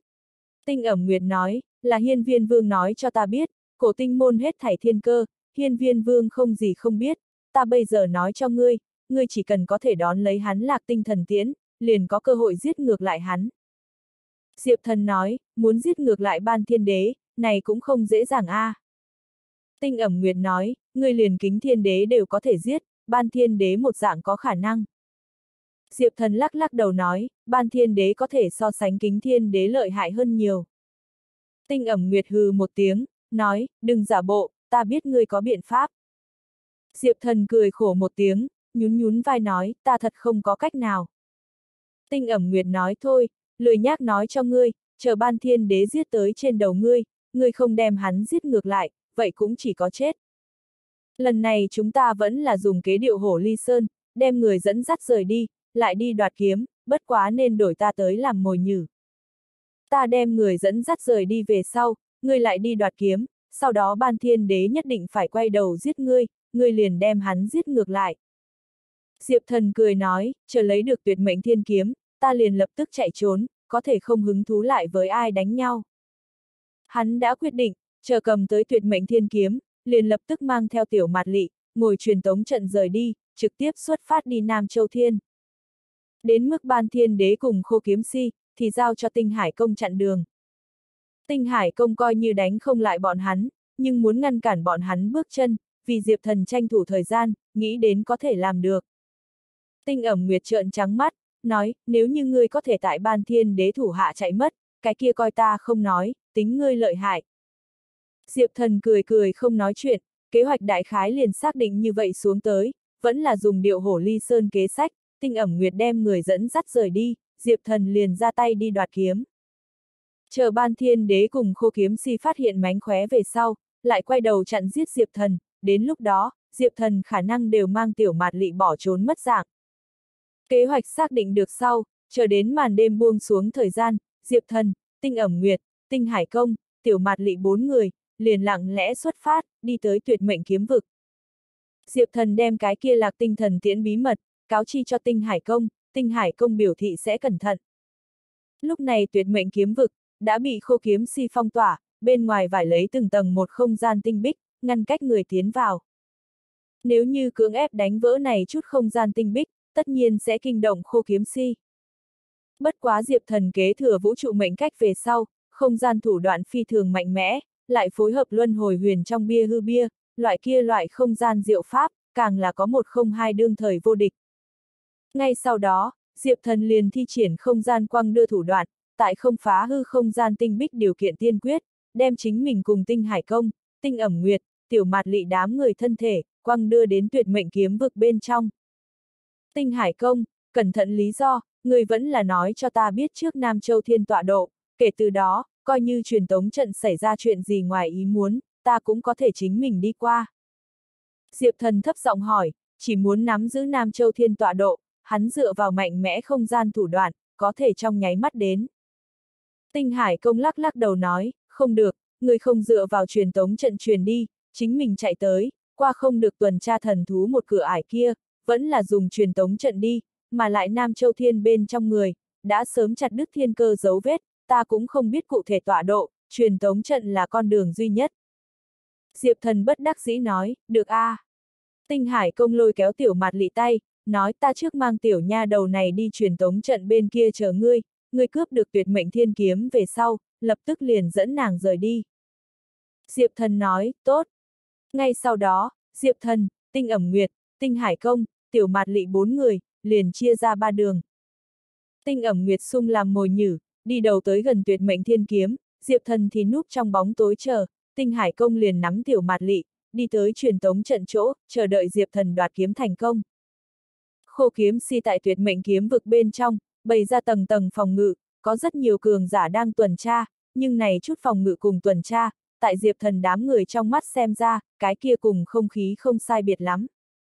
Tinh Hải công dùng rượu mê hồn chi pháp, dễ dàng liền đem truyền tống trận phụ cận thủ vệ đánh ngã, tinh ẩm nguyệt dựa vào cổ trùng chi pháp, cũng là đánh ngã dọc đường tuần tra cường giả, vô thanh vô tức tới gần tuyệt mệnh thiên kiếm. Diệp thần ẩn nấp lấy khí tức, lặng lặng chờ, cũng không làm kinh động người nào. Oanh long long. Chờ giây lát, Diệp thần nghe được tuyệt mệnh thiên kiếm lĩnh vực bên kia, truyền đến kinh thiên tiếng vang, có cuồn cuộn thần quang sục sôi, khí lưu trùng thiên, hà thải chiếu dọi bầu trời đêm, một đường to lớn, vĩ ngạn, rộng rãi, tản ra vương bá chi khí thân ảnh, vụt lên từ mặt đất, bay thẳng thương khung. Lại là hiên viên vương. Cái gì? Diệp thần đồng tử lập tức kịch liệt co vào, trăm triệu không nghĩ tới, hiên viên vương thế mà xuất hiện ở đây.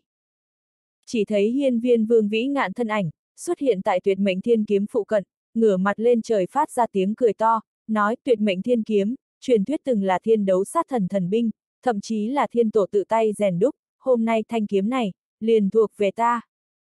Nói xong, hiên viên vương che trời bàn tay lớn hạ xuống, liền hướng về tuyệt mệnh thiên kiếm chộp tới.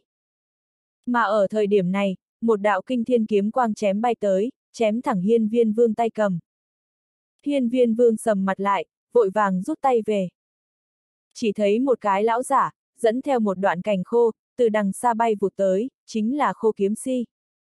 Khô kiếm si dương mắt lạnh lẽo hiên viên vương, nói, hiên viên vương, người đến đây lúc nào? Hiên viên vương cười hắc hắc, nói, lão tạp mau, bản tọa buông xuống, còn phải nói cho ngươi sao?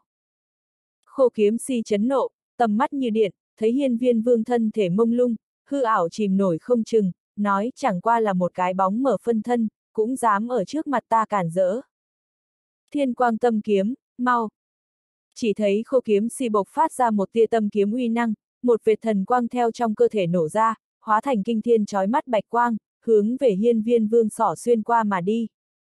Khô kiếm si tâm kiếm, liền là thiên quang luân hồi chảm, ẩn chứa ngàn sắc vạn tượng ảo diệu biến hóa, vô cùng lợi hại, lúc này hắn điều động ra một tia tâm kiếm uy năng, chỉ dùng ba bốn thành công phu, bạch quang đã chiếu sáng toàn bộ chân trời, sáng chói rực rỡ muôn vàn thần quang hội tụ thành cột sáng, muốn đem hiên viên vương triệt để sỏ xuyên qua ép bảo.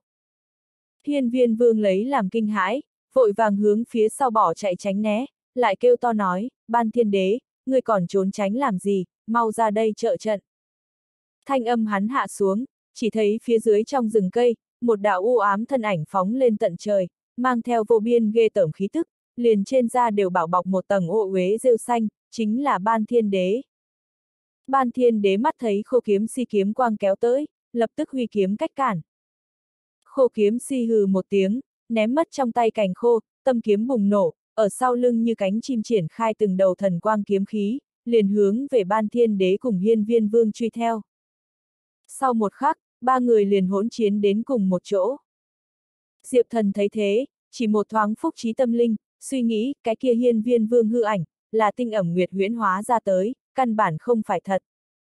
Hắn nhìn rõ thiên cơ, biết chân chính hiên viên vương, căn bản không có tới, cái kia hiên viên vương hư ảnh, trên thực tế chẳng qua là tinh ẩm nguyệt huyễn hóa ra tới giả tượng, dùng tới dẫn dắt rời đi ban thiên đế cùng khô kiếm si, điệu hổ ly sơn. Như vậy dẫn dụ, không thể nghi ngờ là vô cùng nguy hiểm, một khi giả tượng phá diệt, tinh ẩm nguyệt bại lộ, nàng muốn đồng thời đối mặt ban thiên đế cùng khô kiếm si đánh giết, cửu tử nhất sinh. Mặc kệ, trước cướp được tuyệt mệnh thiên kiếm lại nói. Diệp thần lắc đầu, biết thời gian khẩn cấp, hắn không có thời gian có khả năng phí phạm, làm hạ một cái không gian lấp lánh, liền xuất hiện tại tuyệt mệnh thiên kiếm trước mặt, đem tuyệt mệnh hộp kiếm tế ra tới. Tại đi qua hai ngày thời gian bên trong, kỳ thật khô kiếm si cùng ban thiên đế, đều nghĩ qua muốn đoạt lấy tuyệt mệnh thiên kiếm, nhưng làm sao tuyệt mệnh thiên kiếm ẩn chứa phong mang sát khí, thực sự quá khủng bố, bọn hắn căn bản không có chỗ xuống tay, chỉ có thể ở tối bên trong chờ đợi chuyển cơ. Lúc này, Diệp Thần khoảng cách gần đối mặt tuyệt mệnh thiên kiếm, cũng là vô cùng rõ ràng cảm nhận được thanh kiếm này phong mang cùng khủng bố, nếu như không phải hắn có thần giáp mệnh tinh hộ thể, thân thể của hắn cùng linh hồn, sớm đã bị cái kia kinh khủng kiếm đạo sát ý, trực tiếp cắn giết thành mảnh vỡ. Trước đây kiếm linh huyết vũ quân hy sinh, thân hóa huyết sắc xiềng xích, khóa lại thân kiếm cùng chuôi kiếm, chẳng qua là cấm tiệt người đi cầm kiếm, cũng không có che giấu tuyệt mệnh thiên kiếm phong mang. Tuyệt mệnh thiên kiếm phong mang cùng sát khí, xuyên thấu qua cái kia từng đầu huyết sắc xiềng xích, không ngừng phát ra, khiến cho người động dung. Hy vọng này hộp kiếm có ích đi. Diệp thần nhếch nhếch miệng, tế lên tuyệt mệnh hộp kiếm, phát ra ngâm sướng, thiên kiếm trở về, vào hộp rừng. Hộp kiếm cùng thiên kiếm ở giữa, mang theo đặc thù nhân quả liên lạc, diệp thần tiếng ngâm sướng vừa phát ra, lập tức, cái kia vạn trượng nguy nga tuyệt mệnh thiên kiếm, liền oanh long long chấn động, thân kiếm khổng lồ không ngừng thu nhỏ, đến cuối cùng hóa thành trường kiếm bình thường lớn nhỏ, tại trong hư không xẹt qua một đạo hoa lệ huyết mang, liền tinh chuẩn đâm vào trong kiếm hộp. Cái kia hộp kiếm rơi xuống từ trên không, rơi xuống đến Diệp Thần trong tay, Diệp Thần trái tim đập bịch bịch, máu nóng dâng lên, liền cảm giác đến trong tay kiếm hộp, chấn động kịch liệt mấy lần, nhưng chợt liền triệt để bình phục, trở nên im lặng, không còn có một tia nóng nảy cùng bạo ngược. Thành công! Diệp Thần nội tâm trở nên kích động, hoàn chỉnh trạng thái tuyệt mệnh hộp kiếm, hiệu quả vô cùng rõ rệt, vừa thu lại nạp tuyệt mệnh thiên kiếm, hộp kiếm bên trên phong cấm phủ văn, liền hơi hơi phát ra huỳnh quang, đem thiên kiếm tất cả phong mang cùng sát khí, toàn bộ chế trụ.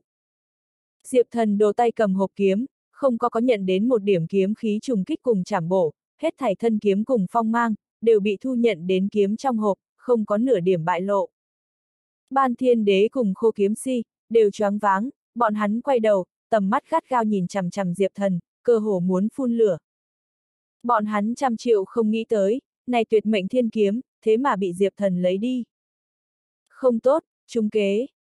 Khô kiếm si giận dữ, trong nháy mắt thiên cơ động minh, biết trước mắt hiên viên vương hư ảnh, trên thực tế chẳng qua là tinh ẩm nguyệt biến ảo, cũng không phải là chân chính hiên viên vương buông xuống, hắn đã trúng kế điệu hổ ly sơn. Ban thiên đế cũng chỉ một thoáng khám phá hết thảy, căm tức nhìn trước mắt hiên viên vương, nói thần tuyết giao cơ, ngươi lại cùng luân hồi chi chủ cấu kết, phản bội ta cổ tinh môn. Chỉ thấy hiên viên vương hư ảnh thân thể, soạt một tiếng, triệt để phá diệt, quả nhiên là một đạo giả tượng. Giả tượng phá diệt về sau, tinh ẩm nguyệt thân ảnh, trên mặt đất hiện ra, trong tay nắm lấy một đạo ngọc phù, phía trên tuyên khắc lấy hiên viên nhị chữ. Này đạo ngọc phù, ở trong tay nàng diệt vong thành cho, nàng nhếch miệng cười một tiếng, nói, ban thiên đế, ta nhưng không có phản bội hiên viên vương, là ngươi phản bội hiên viên vương ý chí, vậy mà nghĩ muốn giết ta. Ha ha, chờ ta trở về bẩm báo hiên viên vương, ngươi liền chết chắc. Ngươi có thể chuẩn bị kỹ càng tiếp nhận. Dứt lời, tinh ẩm nguyệt quay người bay trốn đi. Ngươi đứng lại đó cho ta. Ban thiên đế giận dữ, nghĩ đuổi theo, nhưng lại thấy khô kiếm si đã quay đầu đuổi theo giết diệp thần, rõ ràng là muốn đoạt lại tuyệt mệnh thiên kiếm. Lúc này tuyệt mệnh thiên kiếm, đã bị diệp thần thu nhập hộp kiếm, hết thảy phong mang đều bị áp chế, nếu ai có thể hạ gục diệp thần, người đó liền có thể dễ dàng đoạt được tuyệt mệnh thiên kiếm. Ban thiên đế nghĩ thầm, này tuyệt mệnh thiên kiếm, chính là ta chặt đứt ma chướng nơi mấu chốt, không cho sơ thất. Hắn hàng năm tu luyện ghê tởm chi đạo, đã tích lũy đại lượng ma nghiệt ô uế, chỉ có tuyệt mệnh thiên kiếm có thể chạm Nghĩ như vậy, ban thiên đế khẽ cắn môi, đành phải bỏ qua tinh ẩm nguyệt, chuyển tới đuổi theo giết Diệp Thần. Diệp Thần lọt vào khô kiếm si cùng ban thiên đế hai đại cường giả truy sát, lập tức thấy vô biên áp lực, lớn tiếng kêu lên, tinh hải công, nhờ ngươi. Ha ha ha. Tại Diệp Thần tiếng kêu hạ xuống về sau, một hồi lớn tiếng cười vang lên, chỉ thấy một đạo thân ảnh già nua phóng lên tận trời, chính là tinh hải công. Tinh hải công ngăn ở khô kiếm si cùng ban thiên đế trước mặt, hướng Diệp Thần nói, tiểu tử, đi nhanh đi, nơi này giao cho ta. Diệp Thần ừ một tiếng, lập tức lách mình bay xuống truyền tống trận bên trong, lúc này khô kiếm phái các cường giả, dồn dập tỉnh táo, bốn phương tám hướng có đại lượng cường giả, vò tới vây giết Diệp Thần. Ai dám lên đi tìm cái chết? Diệp Thần quát lên một tiếng lớn, luân hồi chi bàn từ phía sau lộ ra hiện ra, phía trên song long xoay quanh, bàng bạc khí chẳng nghiền ép ra ngoài, quanh mình cường giả lập tức bị đẩy lui, căn bản là không có cách tới gần. Lá thần ca ca, nấc. Tiểu mạt lị đang ngồi xổm ở truyền tống trận bên cạnh trong bụi cây uống rượu, nhìn thấy Diệp thần hàng lâm xuống, lập tức đứng dậy chào hỏi, trong tay còn bưng lấy cái hổ lô rượu. Diệp thần xạ mặt lại, xem ra tiểu mạt lị bị tinh hải công làm hư, lại thành cái ít rượu quỷ. Lúc này tinh hải công người tại bên trên bầu trời, chặn đường lấy ban thiên đế cùng khô kiếm si. Khô kiếm si chấn nộ, quát tinh hải lão quỷ, cút ngay cho ta. Ngươi muốn làm gì, bằng ngươi cũng muốn ngăn trở ta. Hắn thấy Diệp Thần đã hạ xuống trên truyền tống trận mặt, e sợ cho Diệp Thần chạy trốn rời đi, lập tức thôi động tâm kiếm, mười mấy đầu rực rỡ thần thánh kiếm quang bắn ra, chém thẳng tinh hải công. Tinh hải công cười hắc hắc, luận tu vi, hắn dĩ nhiên không phải khô kiếm si địch thủ, nhưng lúc này lại tính trước kỹ càng, tế ra một cái bình rượu, ngón tay ngoắc ra một cái, bình rượu kia bên trong bay vụt ra một đạo rượu, như mũi tên máu trong suốt, lại như bồ đào thuần đỏ, bắn rơi đến trong miệng hắn. Ưng ực, ừ. tinh hải công một thoáng nuốt vào huyết tử, cười ha ha, trên thân liền bạo phát ra từng đầu vô cùng hung hãn sát sinh kiếm khí, cùng khô kiếm si thần thánh kiếm quang đụng nhau, thế mà đem cái kia từng đầu thiên quang kiếm khí, toàn bộ ép diệt. Cái gì? Khô kiếm si hoảng hốt, không thể tin được một màn trước mắt, chỉ cảm thấy tinh hải công bộc phát ra kiếm khí bên trong, thế mà mang theo một tia siêu phẩm thiên đế uy áp, mạnh mẽ đến vô pháp vô thiên mức độ. Ha ha ha, nhậm phi phàm máu tươi ủ thành rượu, quả nhiên là rượu pháp vô tận A. Lão phong tử, người muốn uống một ngụm sao? Tinh hải công ngửa mặt lên trời cười to, lại uống một ngụm huyết tử, trên thân thế mà phun ra một tia siêu việt thiên đế thiên đế khí, đó là siêu phẩm thiên đế khí tức. Nguyên lai hắn bình rượu này, chính là nhậm phi phàm máu tươi cất rượu, bên trong ẩn chứa nhậm phi phàm mạnh mẽ khí tức. Tinh hải công uống xong này huyết tử, ngắn ngủi đạt được nhậm phi phàm lực lượng gia trì, trong nháy mắt khí thế tăng vọt, chính muốn hoành ép chư thiên. Diệp thần thấy thế, rất đối kinh động, thầm nghĩ, nguyên lai đây chính là tinh hải công thủ đoạn. Vẫn là ta nhậm tiền bối lợi hại a. À. Khô kiếm si triệt để bị kinh hãi, trợn mắt hốc mồm. Tinh hải công lớn tiếng hướng Diệp thần nói, tiểu tử, an tâm đi thôi, nơi này ta tới xử lý. Diệp thần ư ừ một tiếng, lập tức cắt vỡ bàn tay của mình, đem máu tươi huy sái tại trên truyền tống trận mặt. Ong ong, hiện. Truyền tống trận hấp thu máu tươi của hắn, lập tức liền chấn động dâng lên, chậm rãi bắt đầu khởi động, tràn ngập từng sợi ánh sáng màu lam. Bên trên bầu trời, ban thiên đế vẻ mặt cũng là phi thường khó coi, nhưng ánh mắt của hắn độc ác, nhạy cảm phát hiện tinh hải công khí thức, mặt ngoài nhìn như mạnh mẽ, trên thực tế vô cùng phù phiếm, duy trì không được bao lâu. Cáo mượn oai hùm, ta còn tưởng rằng nhậm phi phàm buông xuống, nguyên lai ngươi chỉ bất quá đánh cắp hắn một điểm khí huyết, nhìn như vô địch, chỉ có kỳ biểu thôi. Ban thiên đế hừ một tiếng, vung tay lên, một đạo âm u sát khí, như tấm lụa bao phủ mà ra, đánh thẳng hướng tinh hải công. Tinh hải công uống một ngụm huyết tử, mượn nhậm phi phàm khí huyết trợ lực, vùng chảm ra từng cái từng cái huyết kiếm mang khí. Suy suy suy, ban thiên đế cái kia tấm lụa âm sát khí thức, bị huyết kiếm chém xoắn nát, nhưng cũng không có diệt vong, bị xoắn nát phân tán sát khí, y nguyên như giỏi trong xương, ăn mòn hướng tinh hải công. Không tốt, tinh hải công đại chấn, không nghĩ tới ban thiên đế thần thông như thế xảo trá. Cái kia âm sát khí đối diện kéo tới, hắn gấp vội rút thân lui lại né tránh, nhưng hô hấp ở giữa, vẫn là hút vào không ít sát khí. Sát khí vào cơ thể, tinh hải công chỉ cảm thấy phiền muộn muốn ói, trên mặt làn da lập tức xuất hiện một tầng đốm đen. Hắn trung quy là thích rượu nhiều năm, thực chiến công phu rơi xuống, lúc này đối mặt ban thiên đế vô cùng xảo trá âm sát tập kích, mặc dù có nhậm phi phàm khí huyết trợ lực, vẫn là chúng chiêu. Ôi, không tốt, lá thần ca ca, lão ra ra gặp nguy hiểm. Chúng ta nhanh đi giúp hắn. Tiểu mạt lị thấy tinh hải công gặp nạn, lập tức lúng túng lo lắng, liền trong tay hồ lô rượu đều vứt bỏ, lau lau tay liền đem Diệp Thần hướng bên ngoài truyền tống trận đẩy đi ra. Lúc này truyền tống trận, đã tại khởi động, không ngừng chấn động, toát ra ánh sáng màu lam càng lúc càng nồng nặc, liền chuẩn bị muốn đem hai người truyền tống đi Nam Châu Thiên. Nhưng, tiểu mạt lị đột nhiên đem Diệp Thần đẩy đi ra, Diệp Thần lại bất ngờ. Tiểu mạt lị khí lực, to đến lạ thường, Diệp Thần thế mà cũng ngăn cản không nổi, thân hình mất thăng bằng, liền bị nàng đẩy ra đến bên ngoài. Tại đem Diệp Thần đẩy đi ra về sau, tiểu mạt lị cũng muốn nhảy xuống truyền tống trận, đi giúp tinh hải công. Nhưng lúc này truyền tống trận, đã triệt để có hiệu lực. Kinh dị một màn liền xuất hiện, Diệp Thần bị đẩy đi ra, tiểu mạt lị còn một người lưu tại truyền tống trận bên trong, chưa kịp nhảy ra, trực tiếp liền bị truyền tống đi. Mạt lị. Diệp Thần hoảng hốt. Tiểu mạt lị cuối cùng vẻ mặt, dừng lại đang kinh ngạc cùng trong lúc bối rối, cả người liền biến mất không thấy. Truyền tống trận hào quang ảm đạm xuống, bên trên bầu trời, tinh hải công nhìn thấy Diệp Thần lẻ loi trơ trọi đứng đấy, cũng ngây dại mắt. Ban thiên đế sững sờ, sau đó cười ha ha, nói, những luân hồi chi chủ, xem ra hôm nay ngươi chạy không thoát. Khô kiếm si lúc này cũng lấy lại tinh thần đến, nhìn thấy Diệp Thần không có bị truyền tống rời đi, trong lòng thầm hô may mắn, nếu như bị Diệp Thần chạy, hắn đời này cũng đừng nghĩ lại nhúng chàm tuyệt mệnh thiên kiếm. Nơi xa trong rừng cây, tinh ẩm nguyệt đang núp ở phía sau cây, nàng cũng không hề rời đi, mà lại yên lặng nhìn biến động, nàng chỉ muốn muốn ban thiên đế chết. Vừa mới thấy Diệp Thần muốn truyền tống rời đi, nàng còn giật nảy mình, lúc này thấy đến Diệp Thần cũng không thành công rời đi, lúc này mới thở dài một hơi, lẩm bẩm. May mắn may mắn, tiểu tử này không có chạy, có hắn tại, ban thiên đế nhất định phải chết. Cũng không uổng công ta vận dụng hiên viên phù chiếu.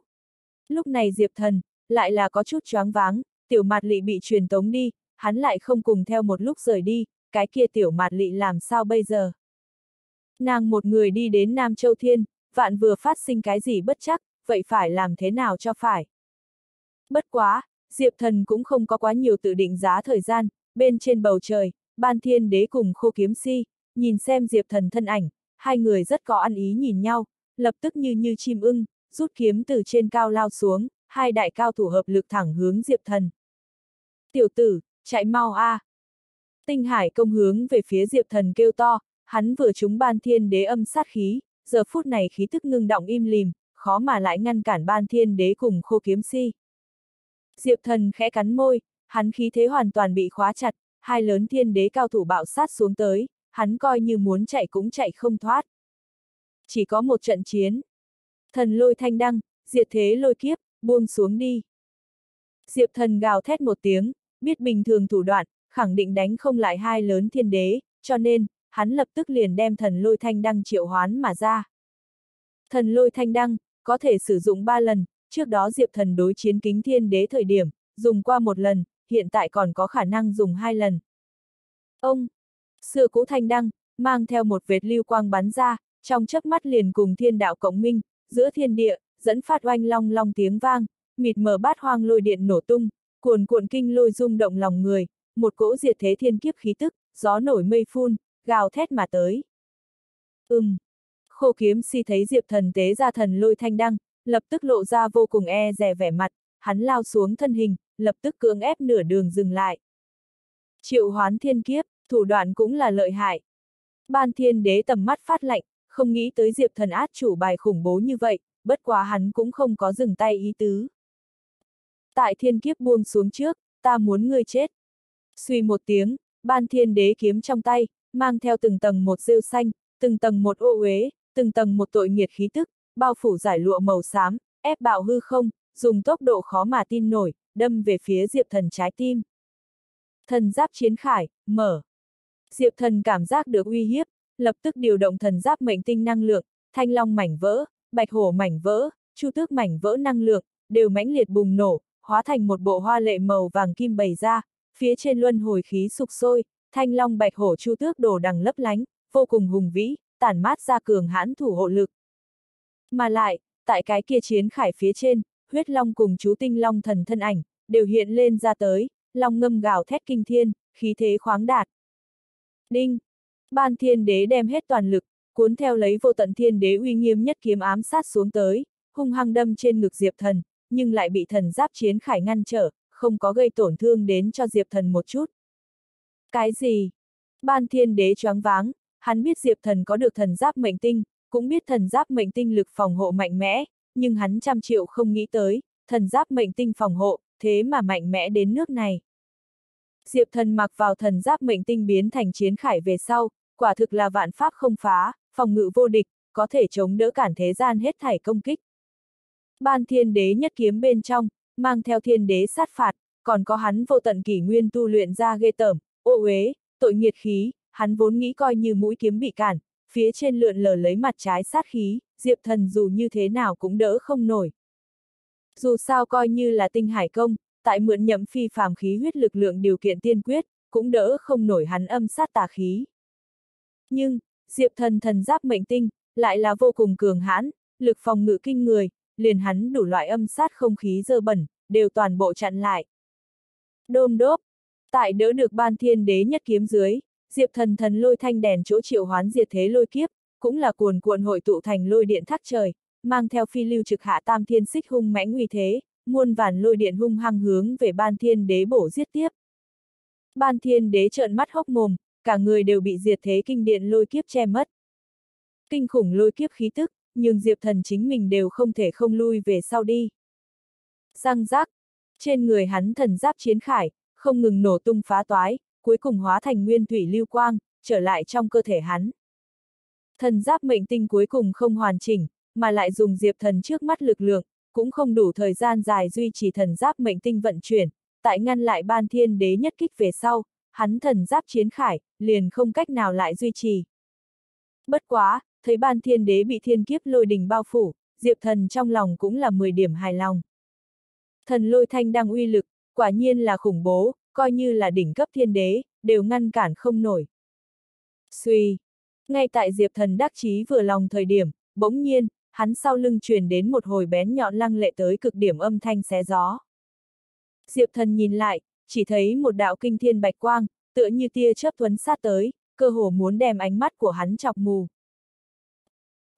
Audio điện tử võ tấn bền. Hết tập 557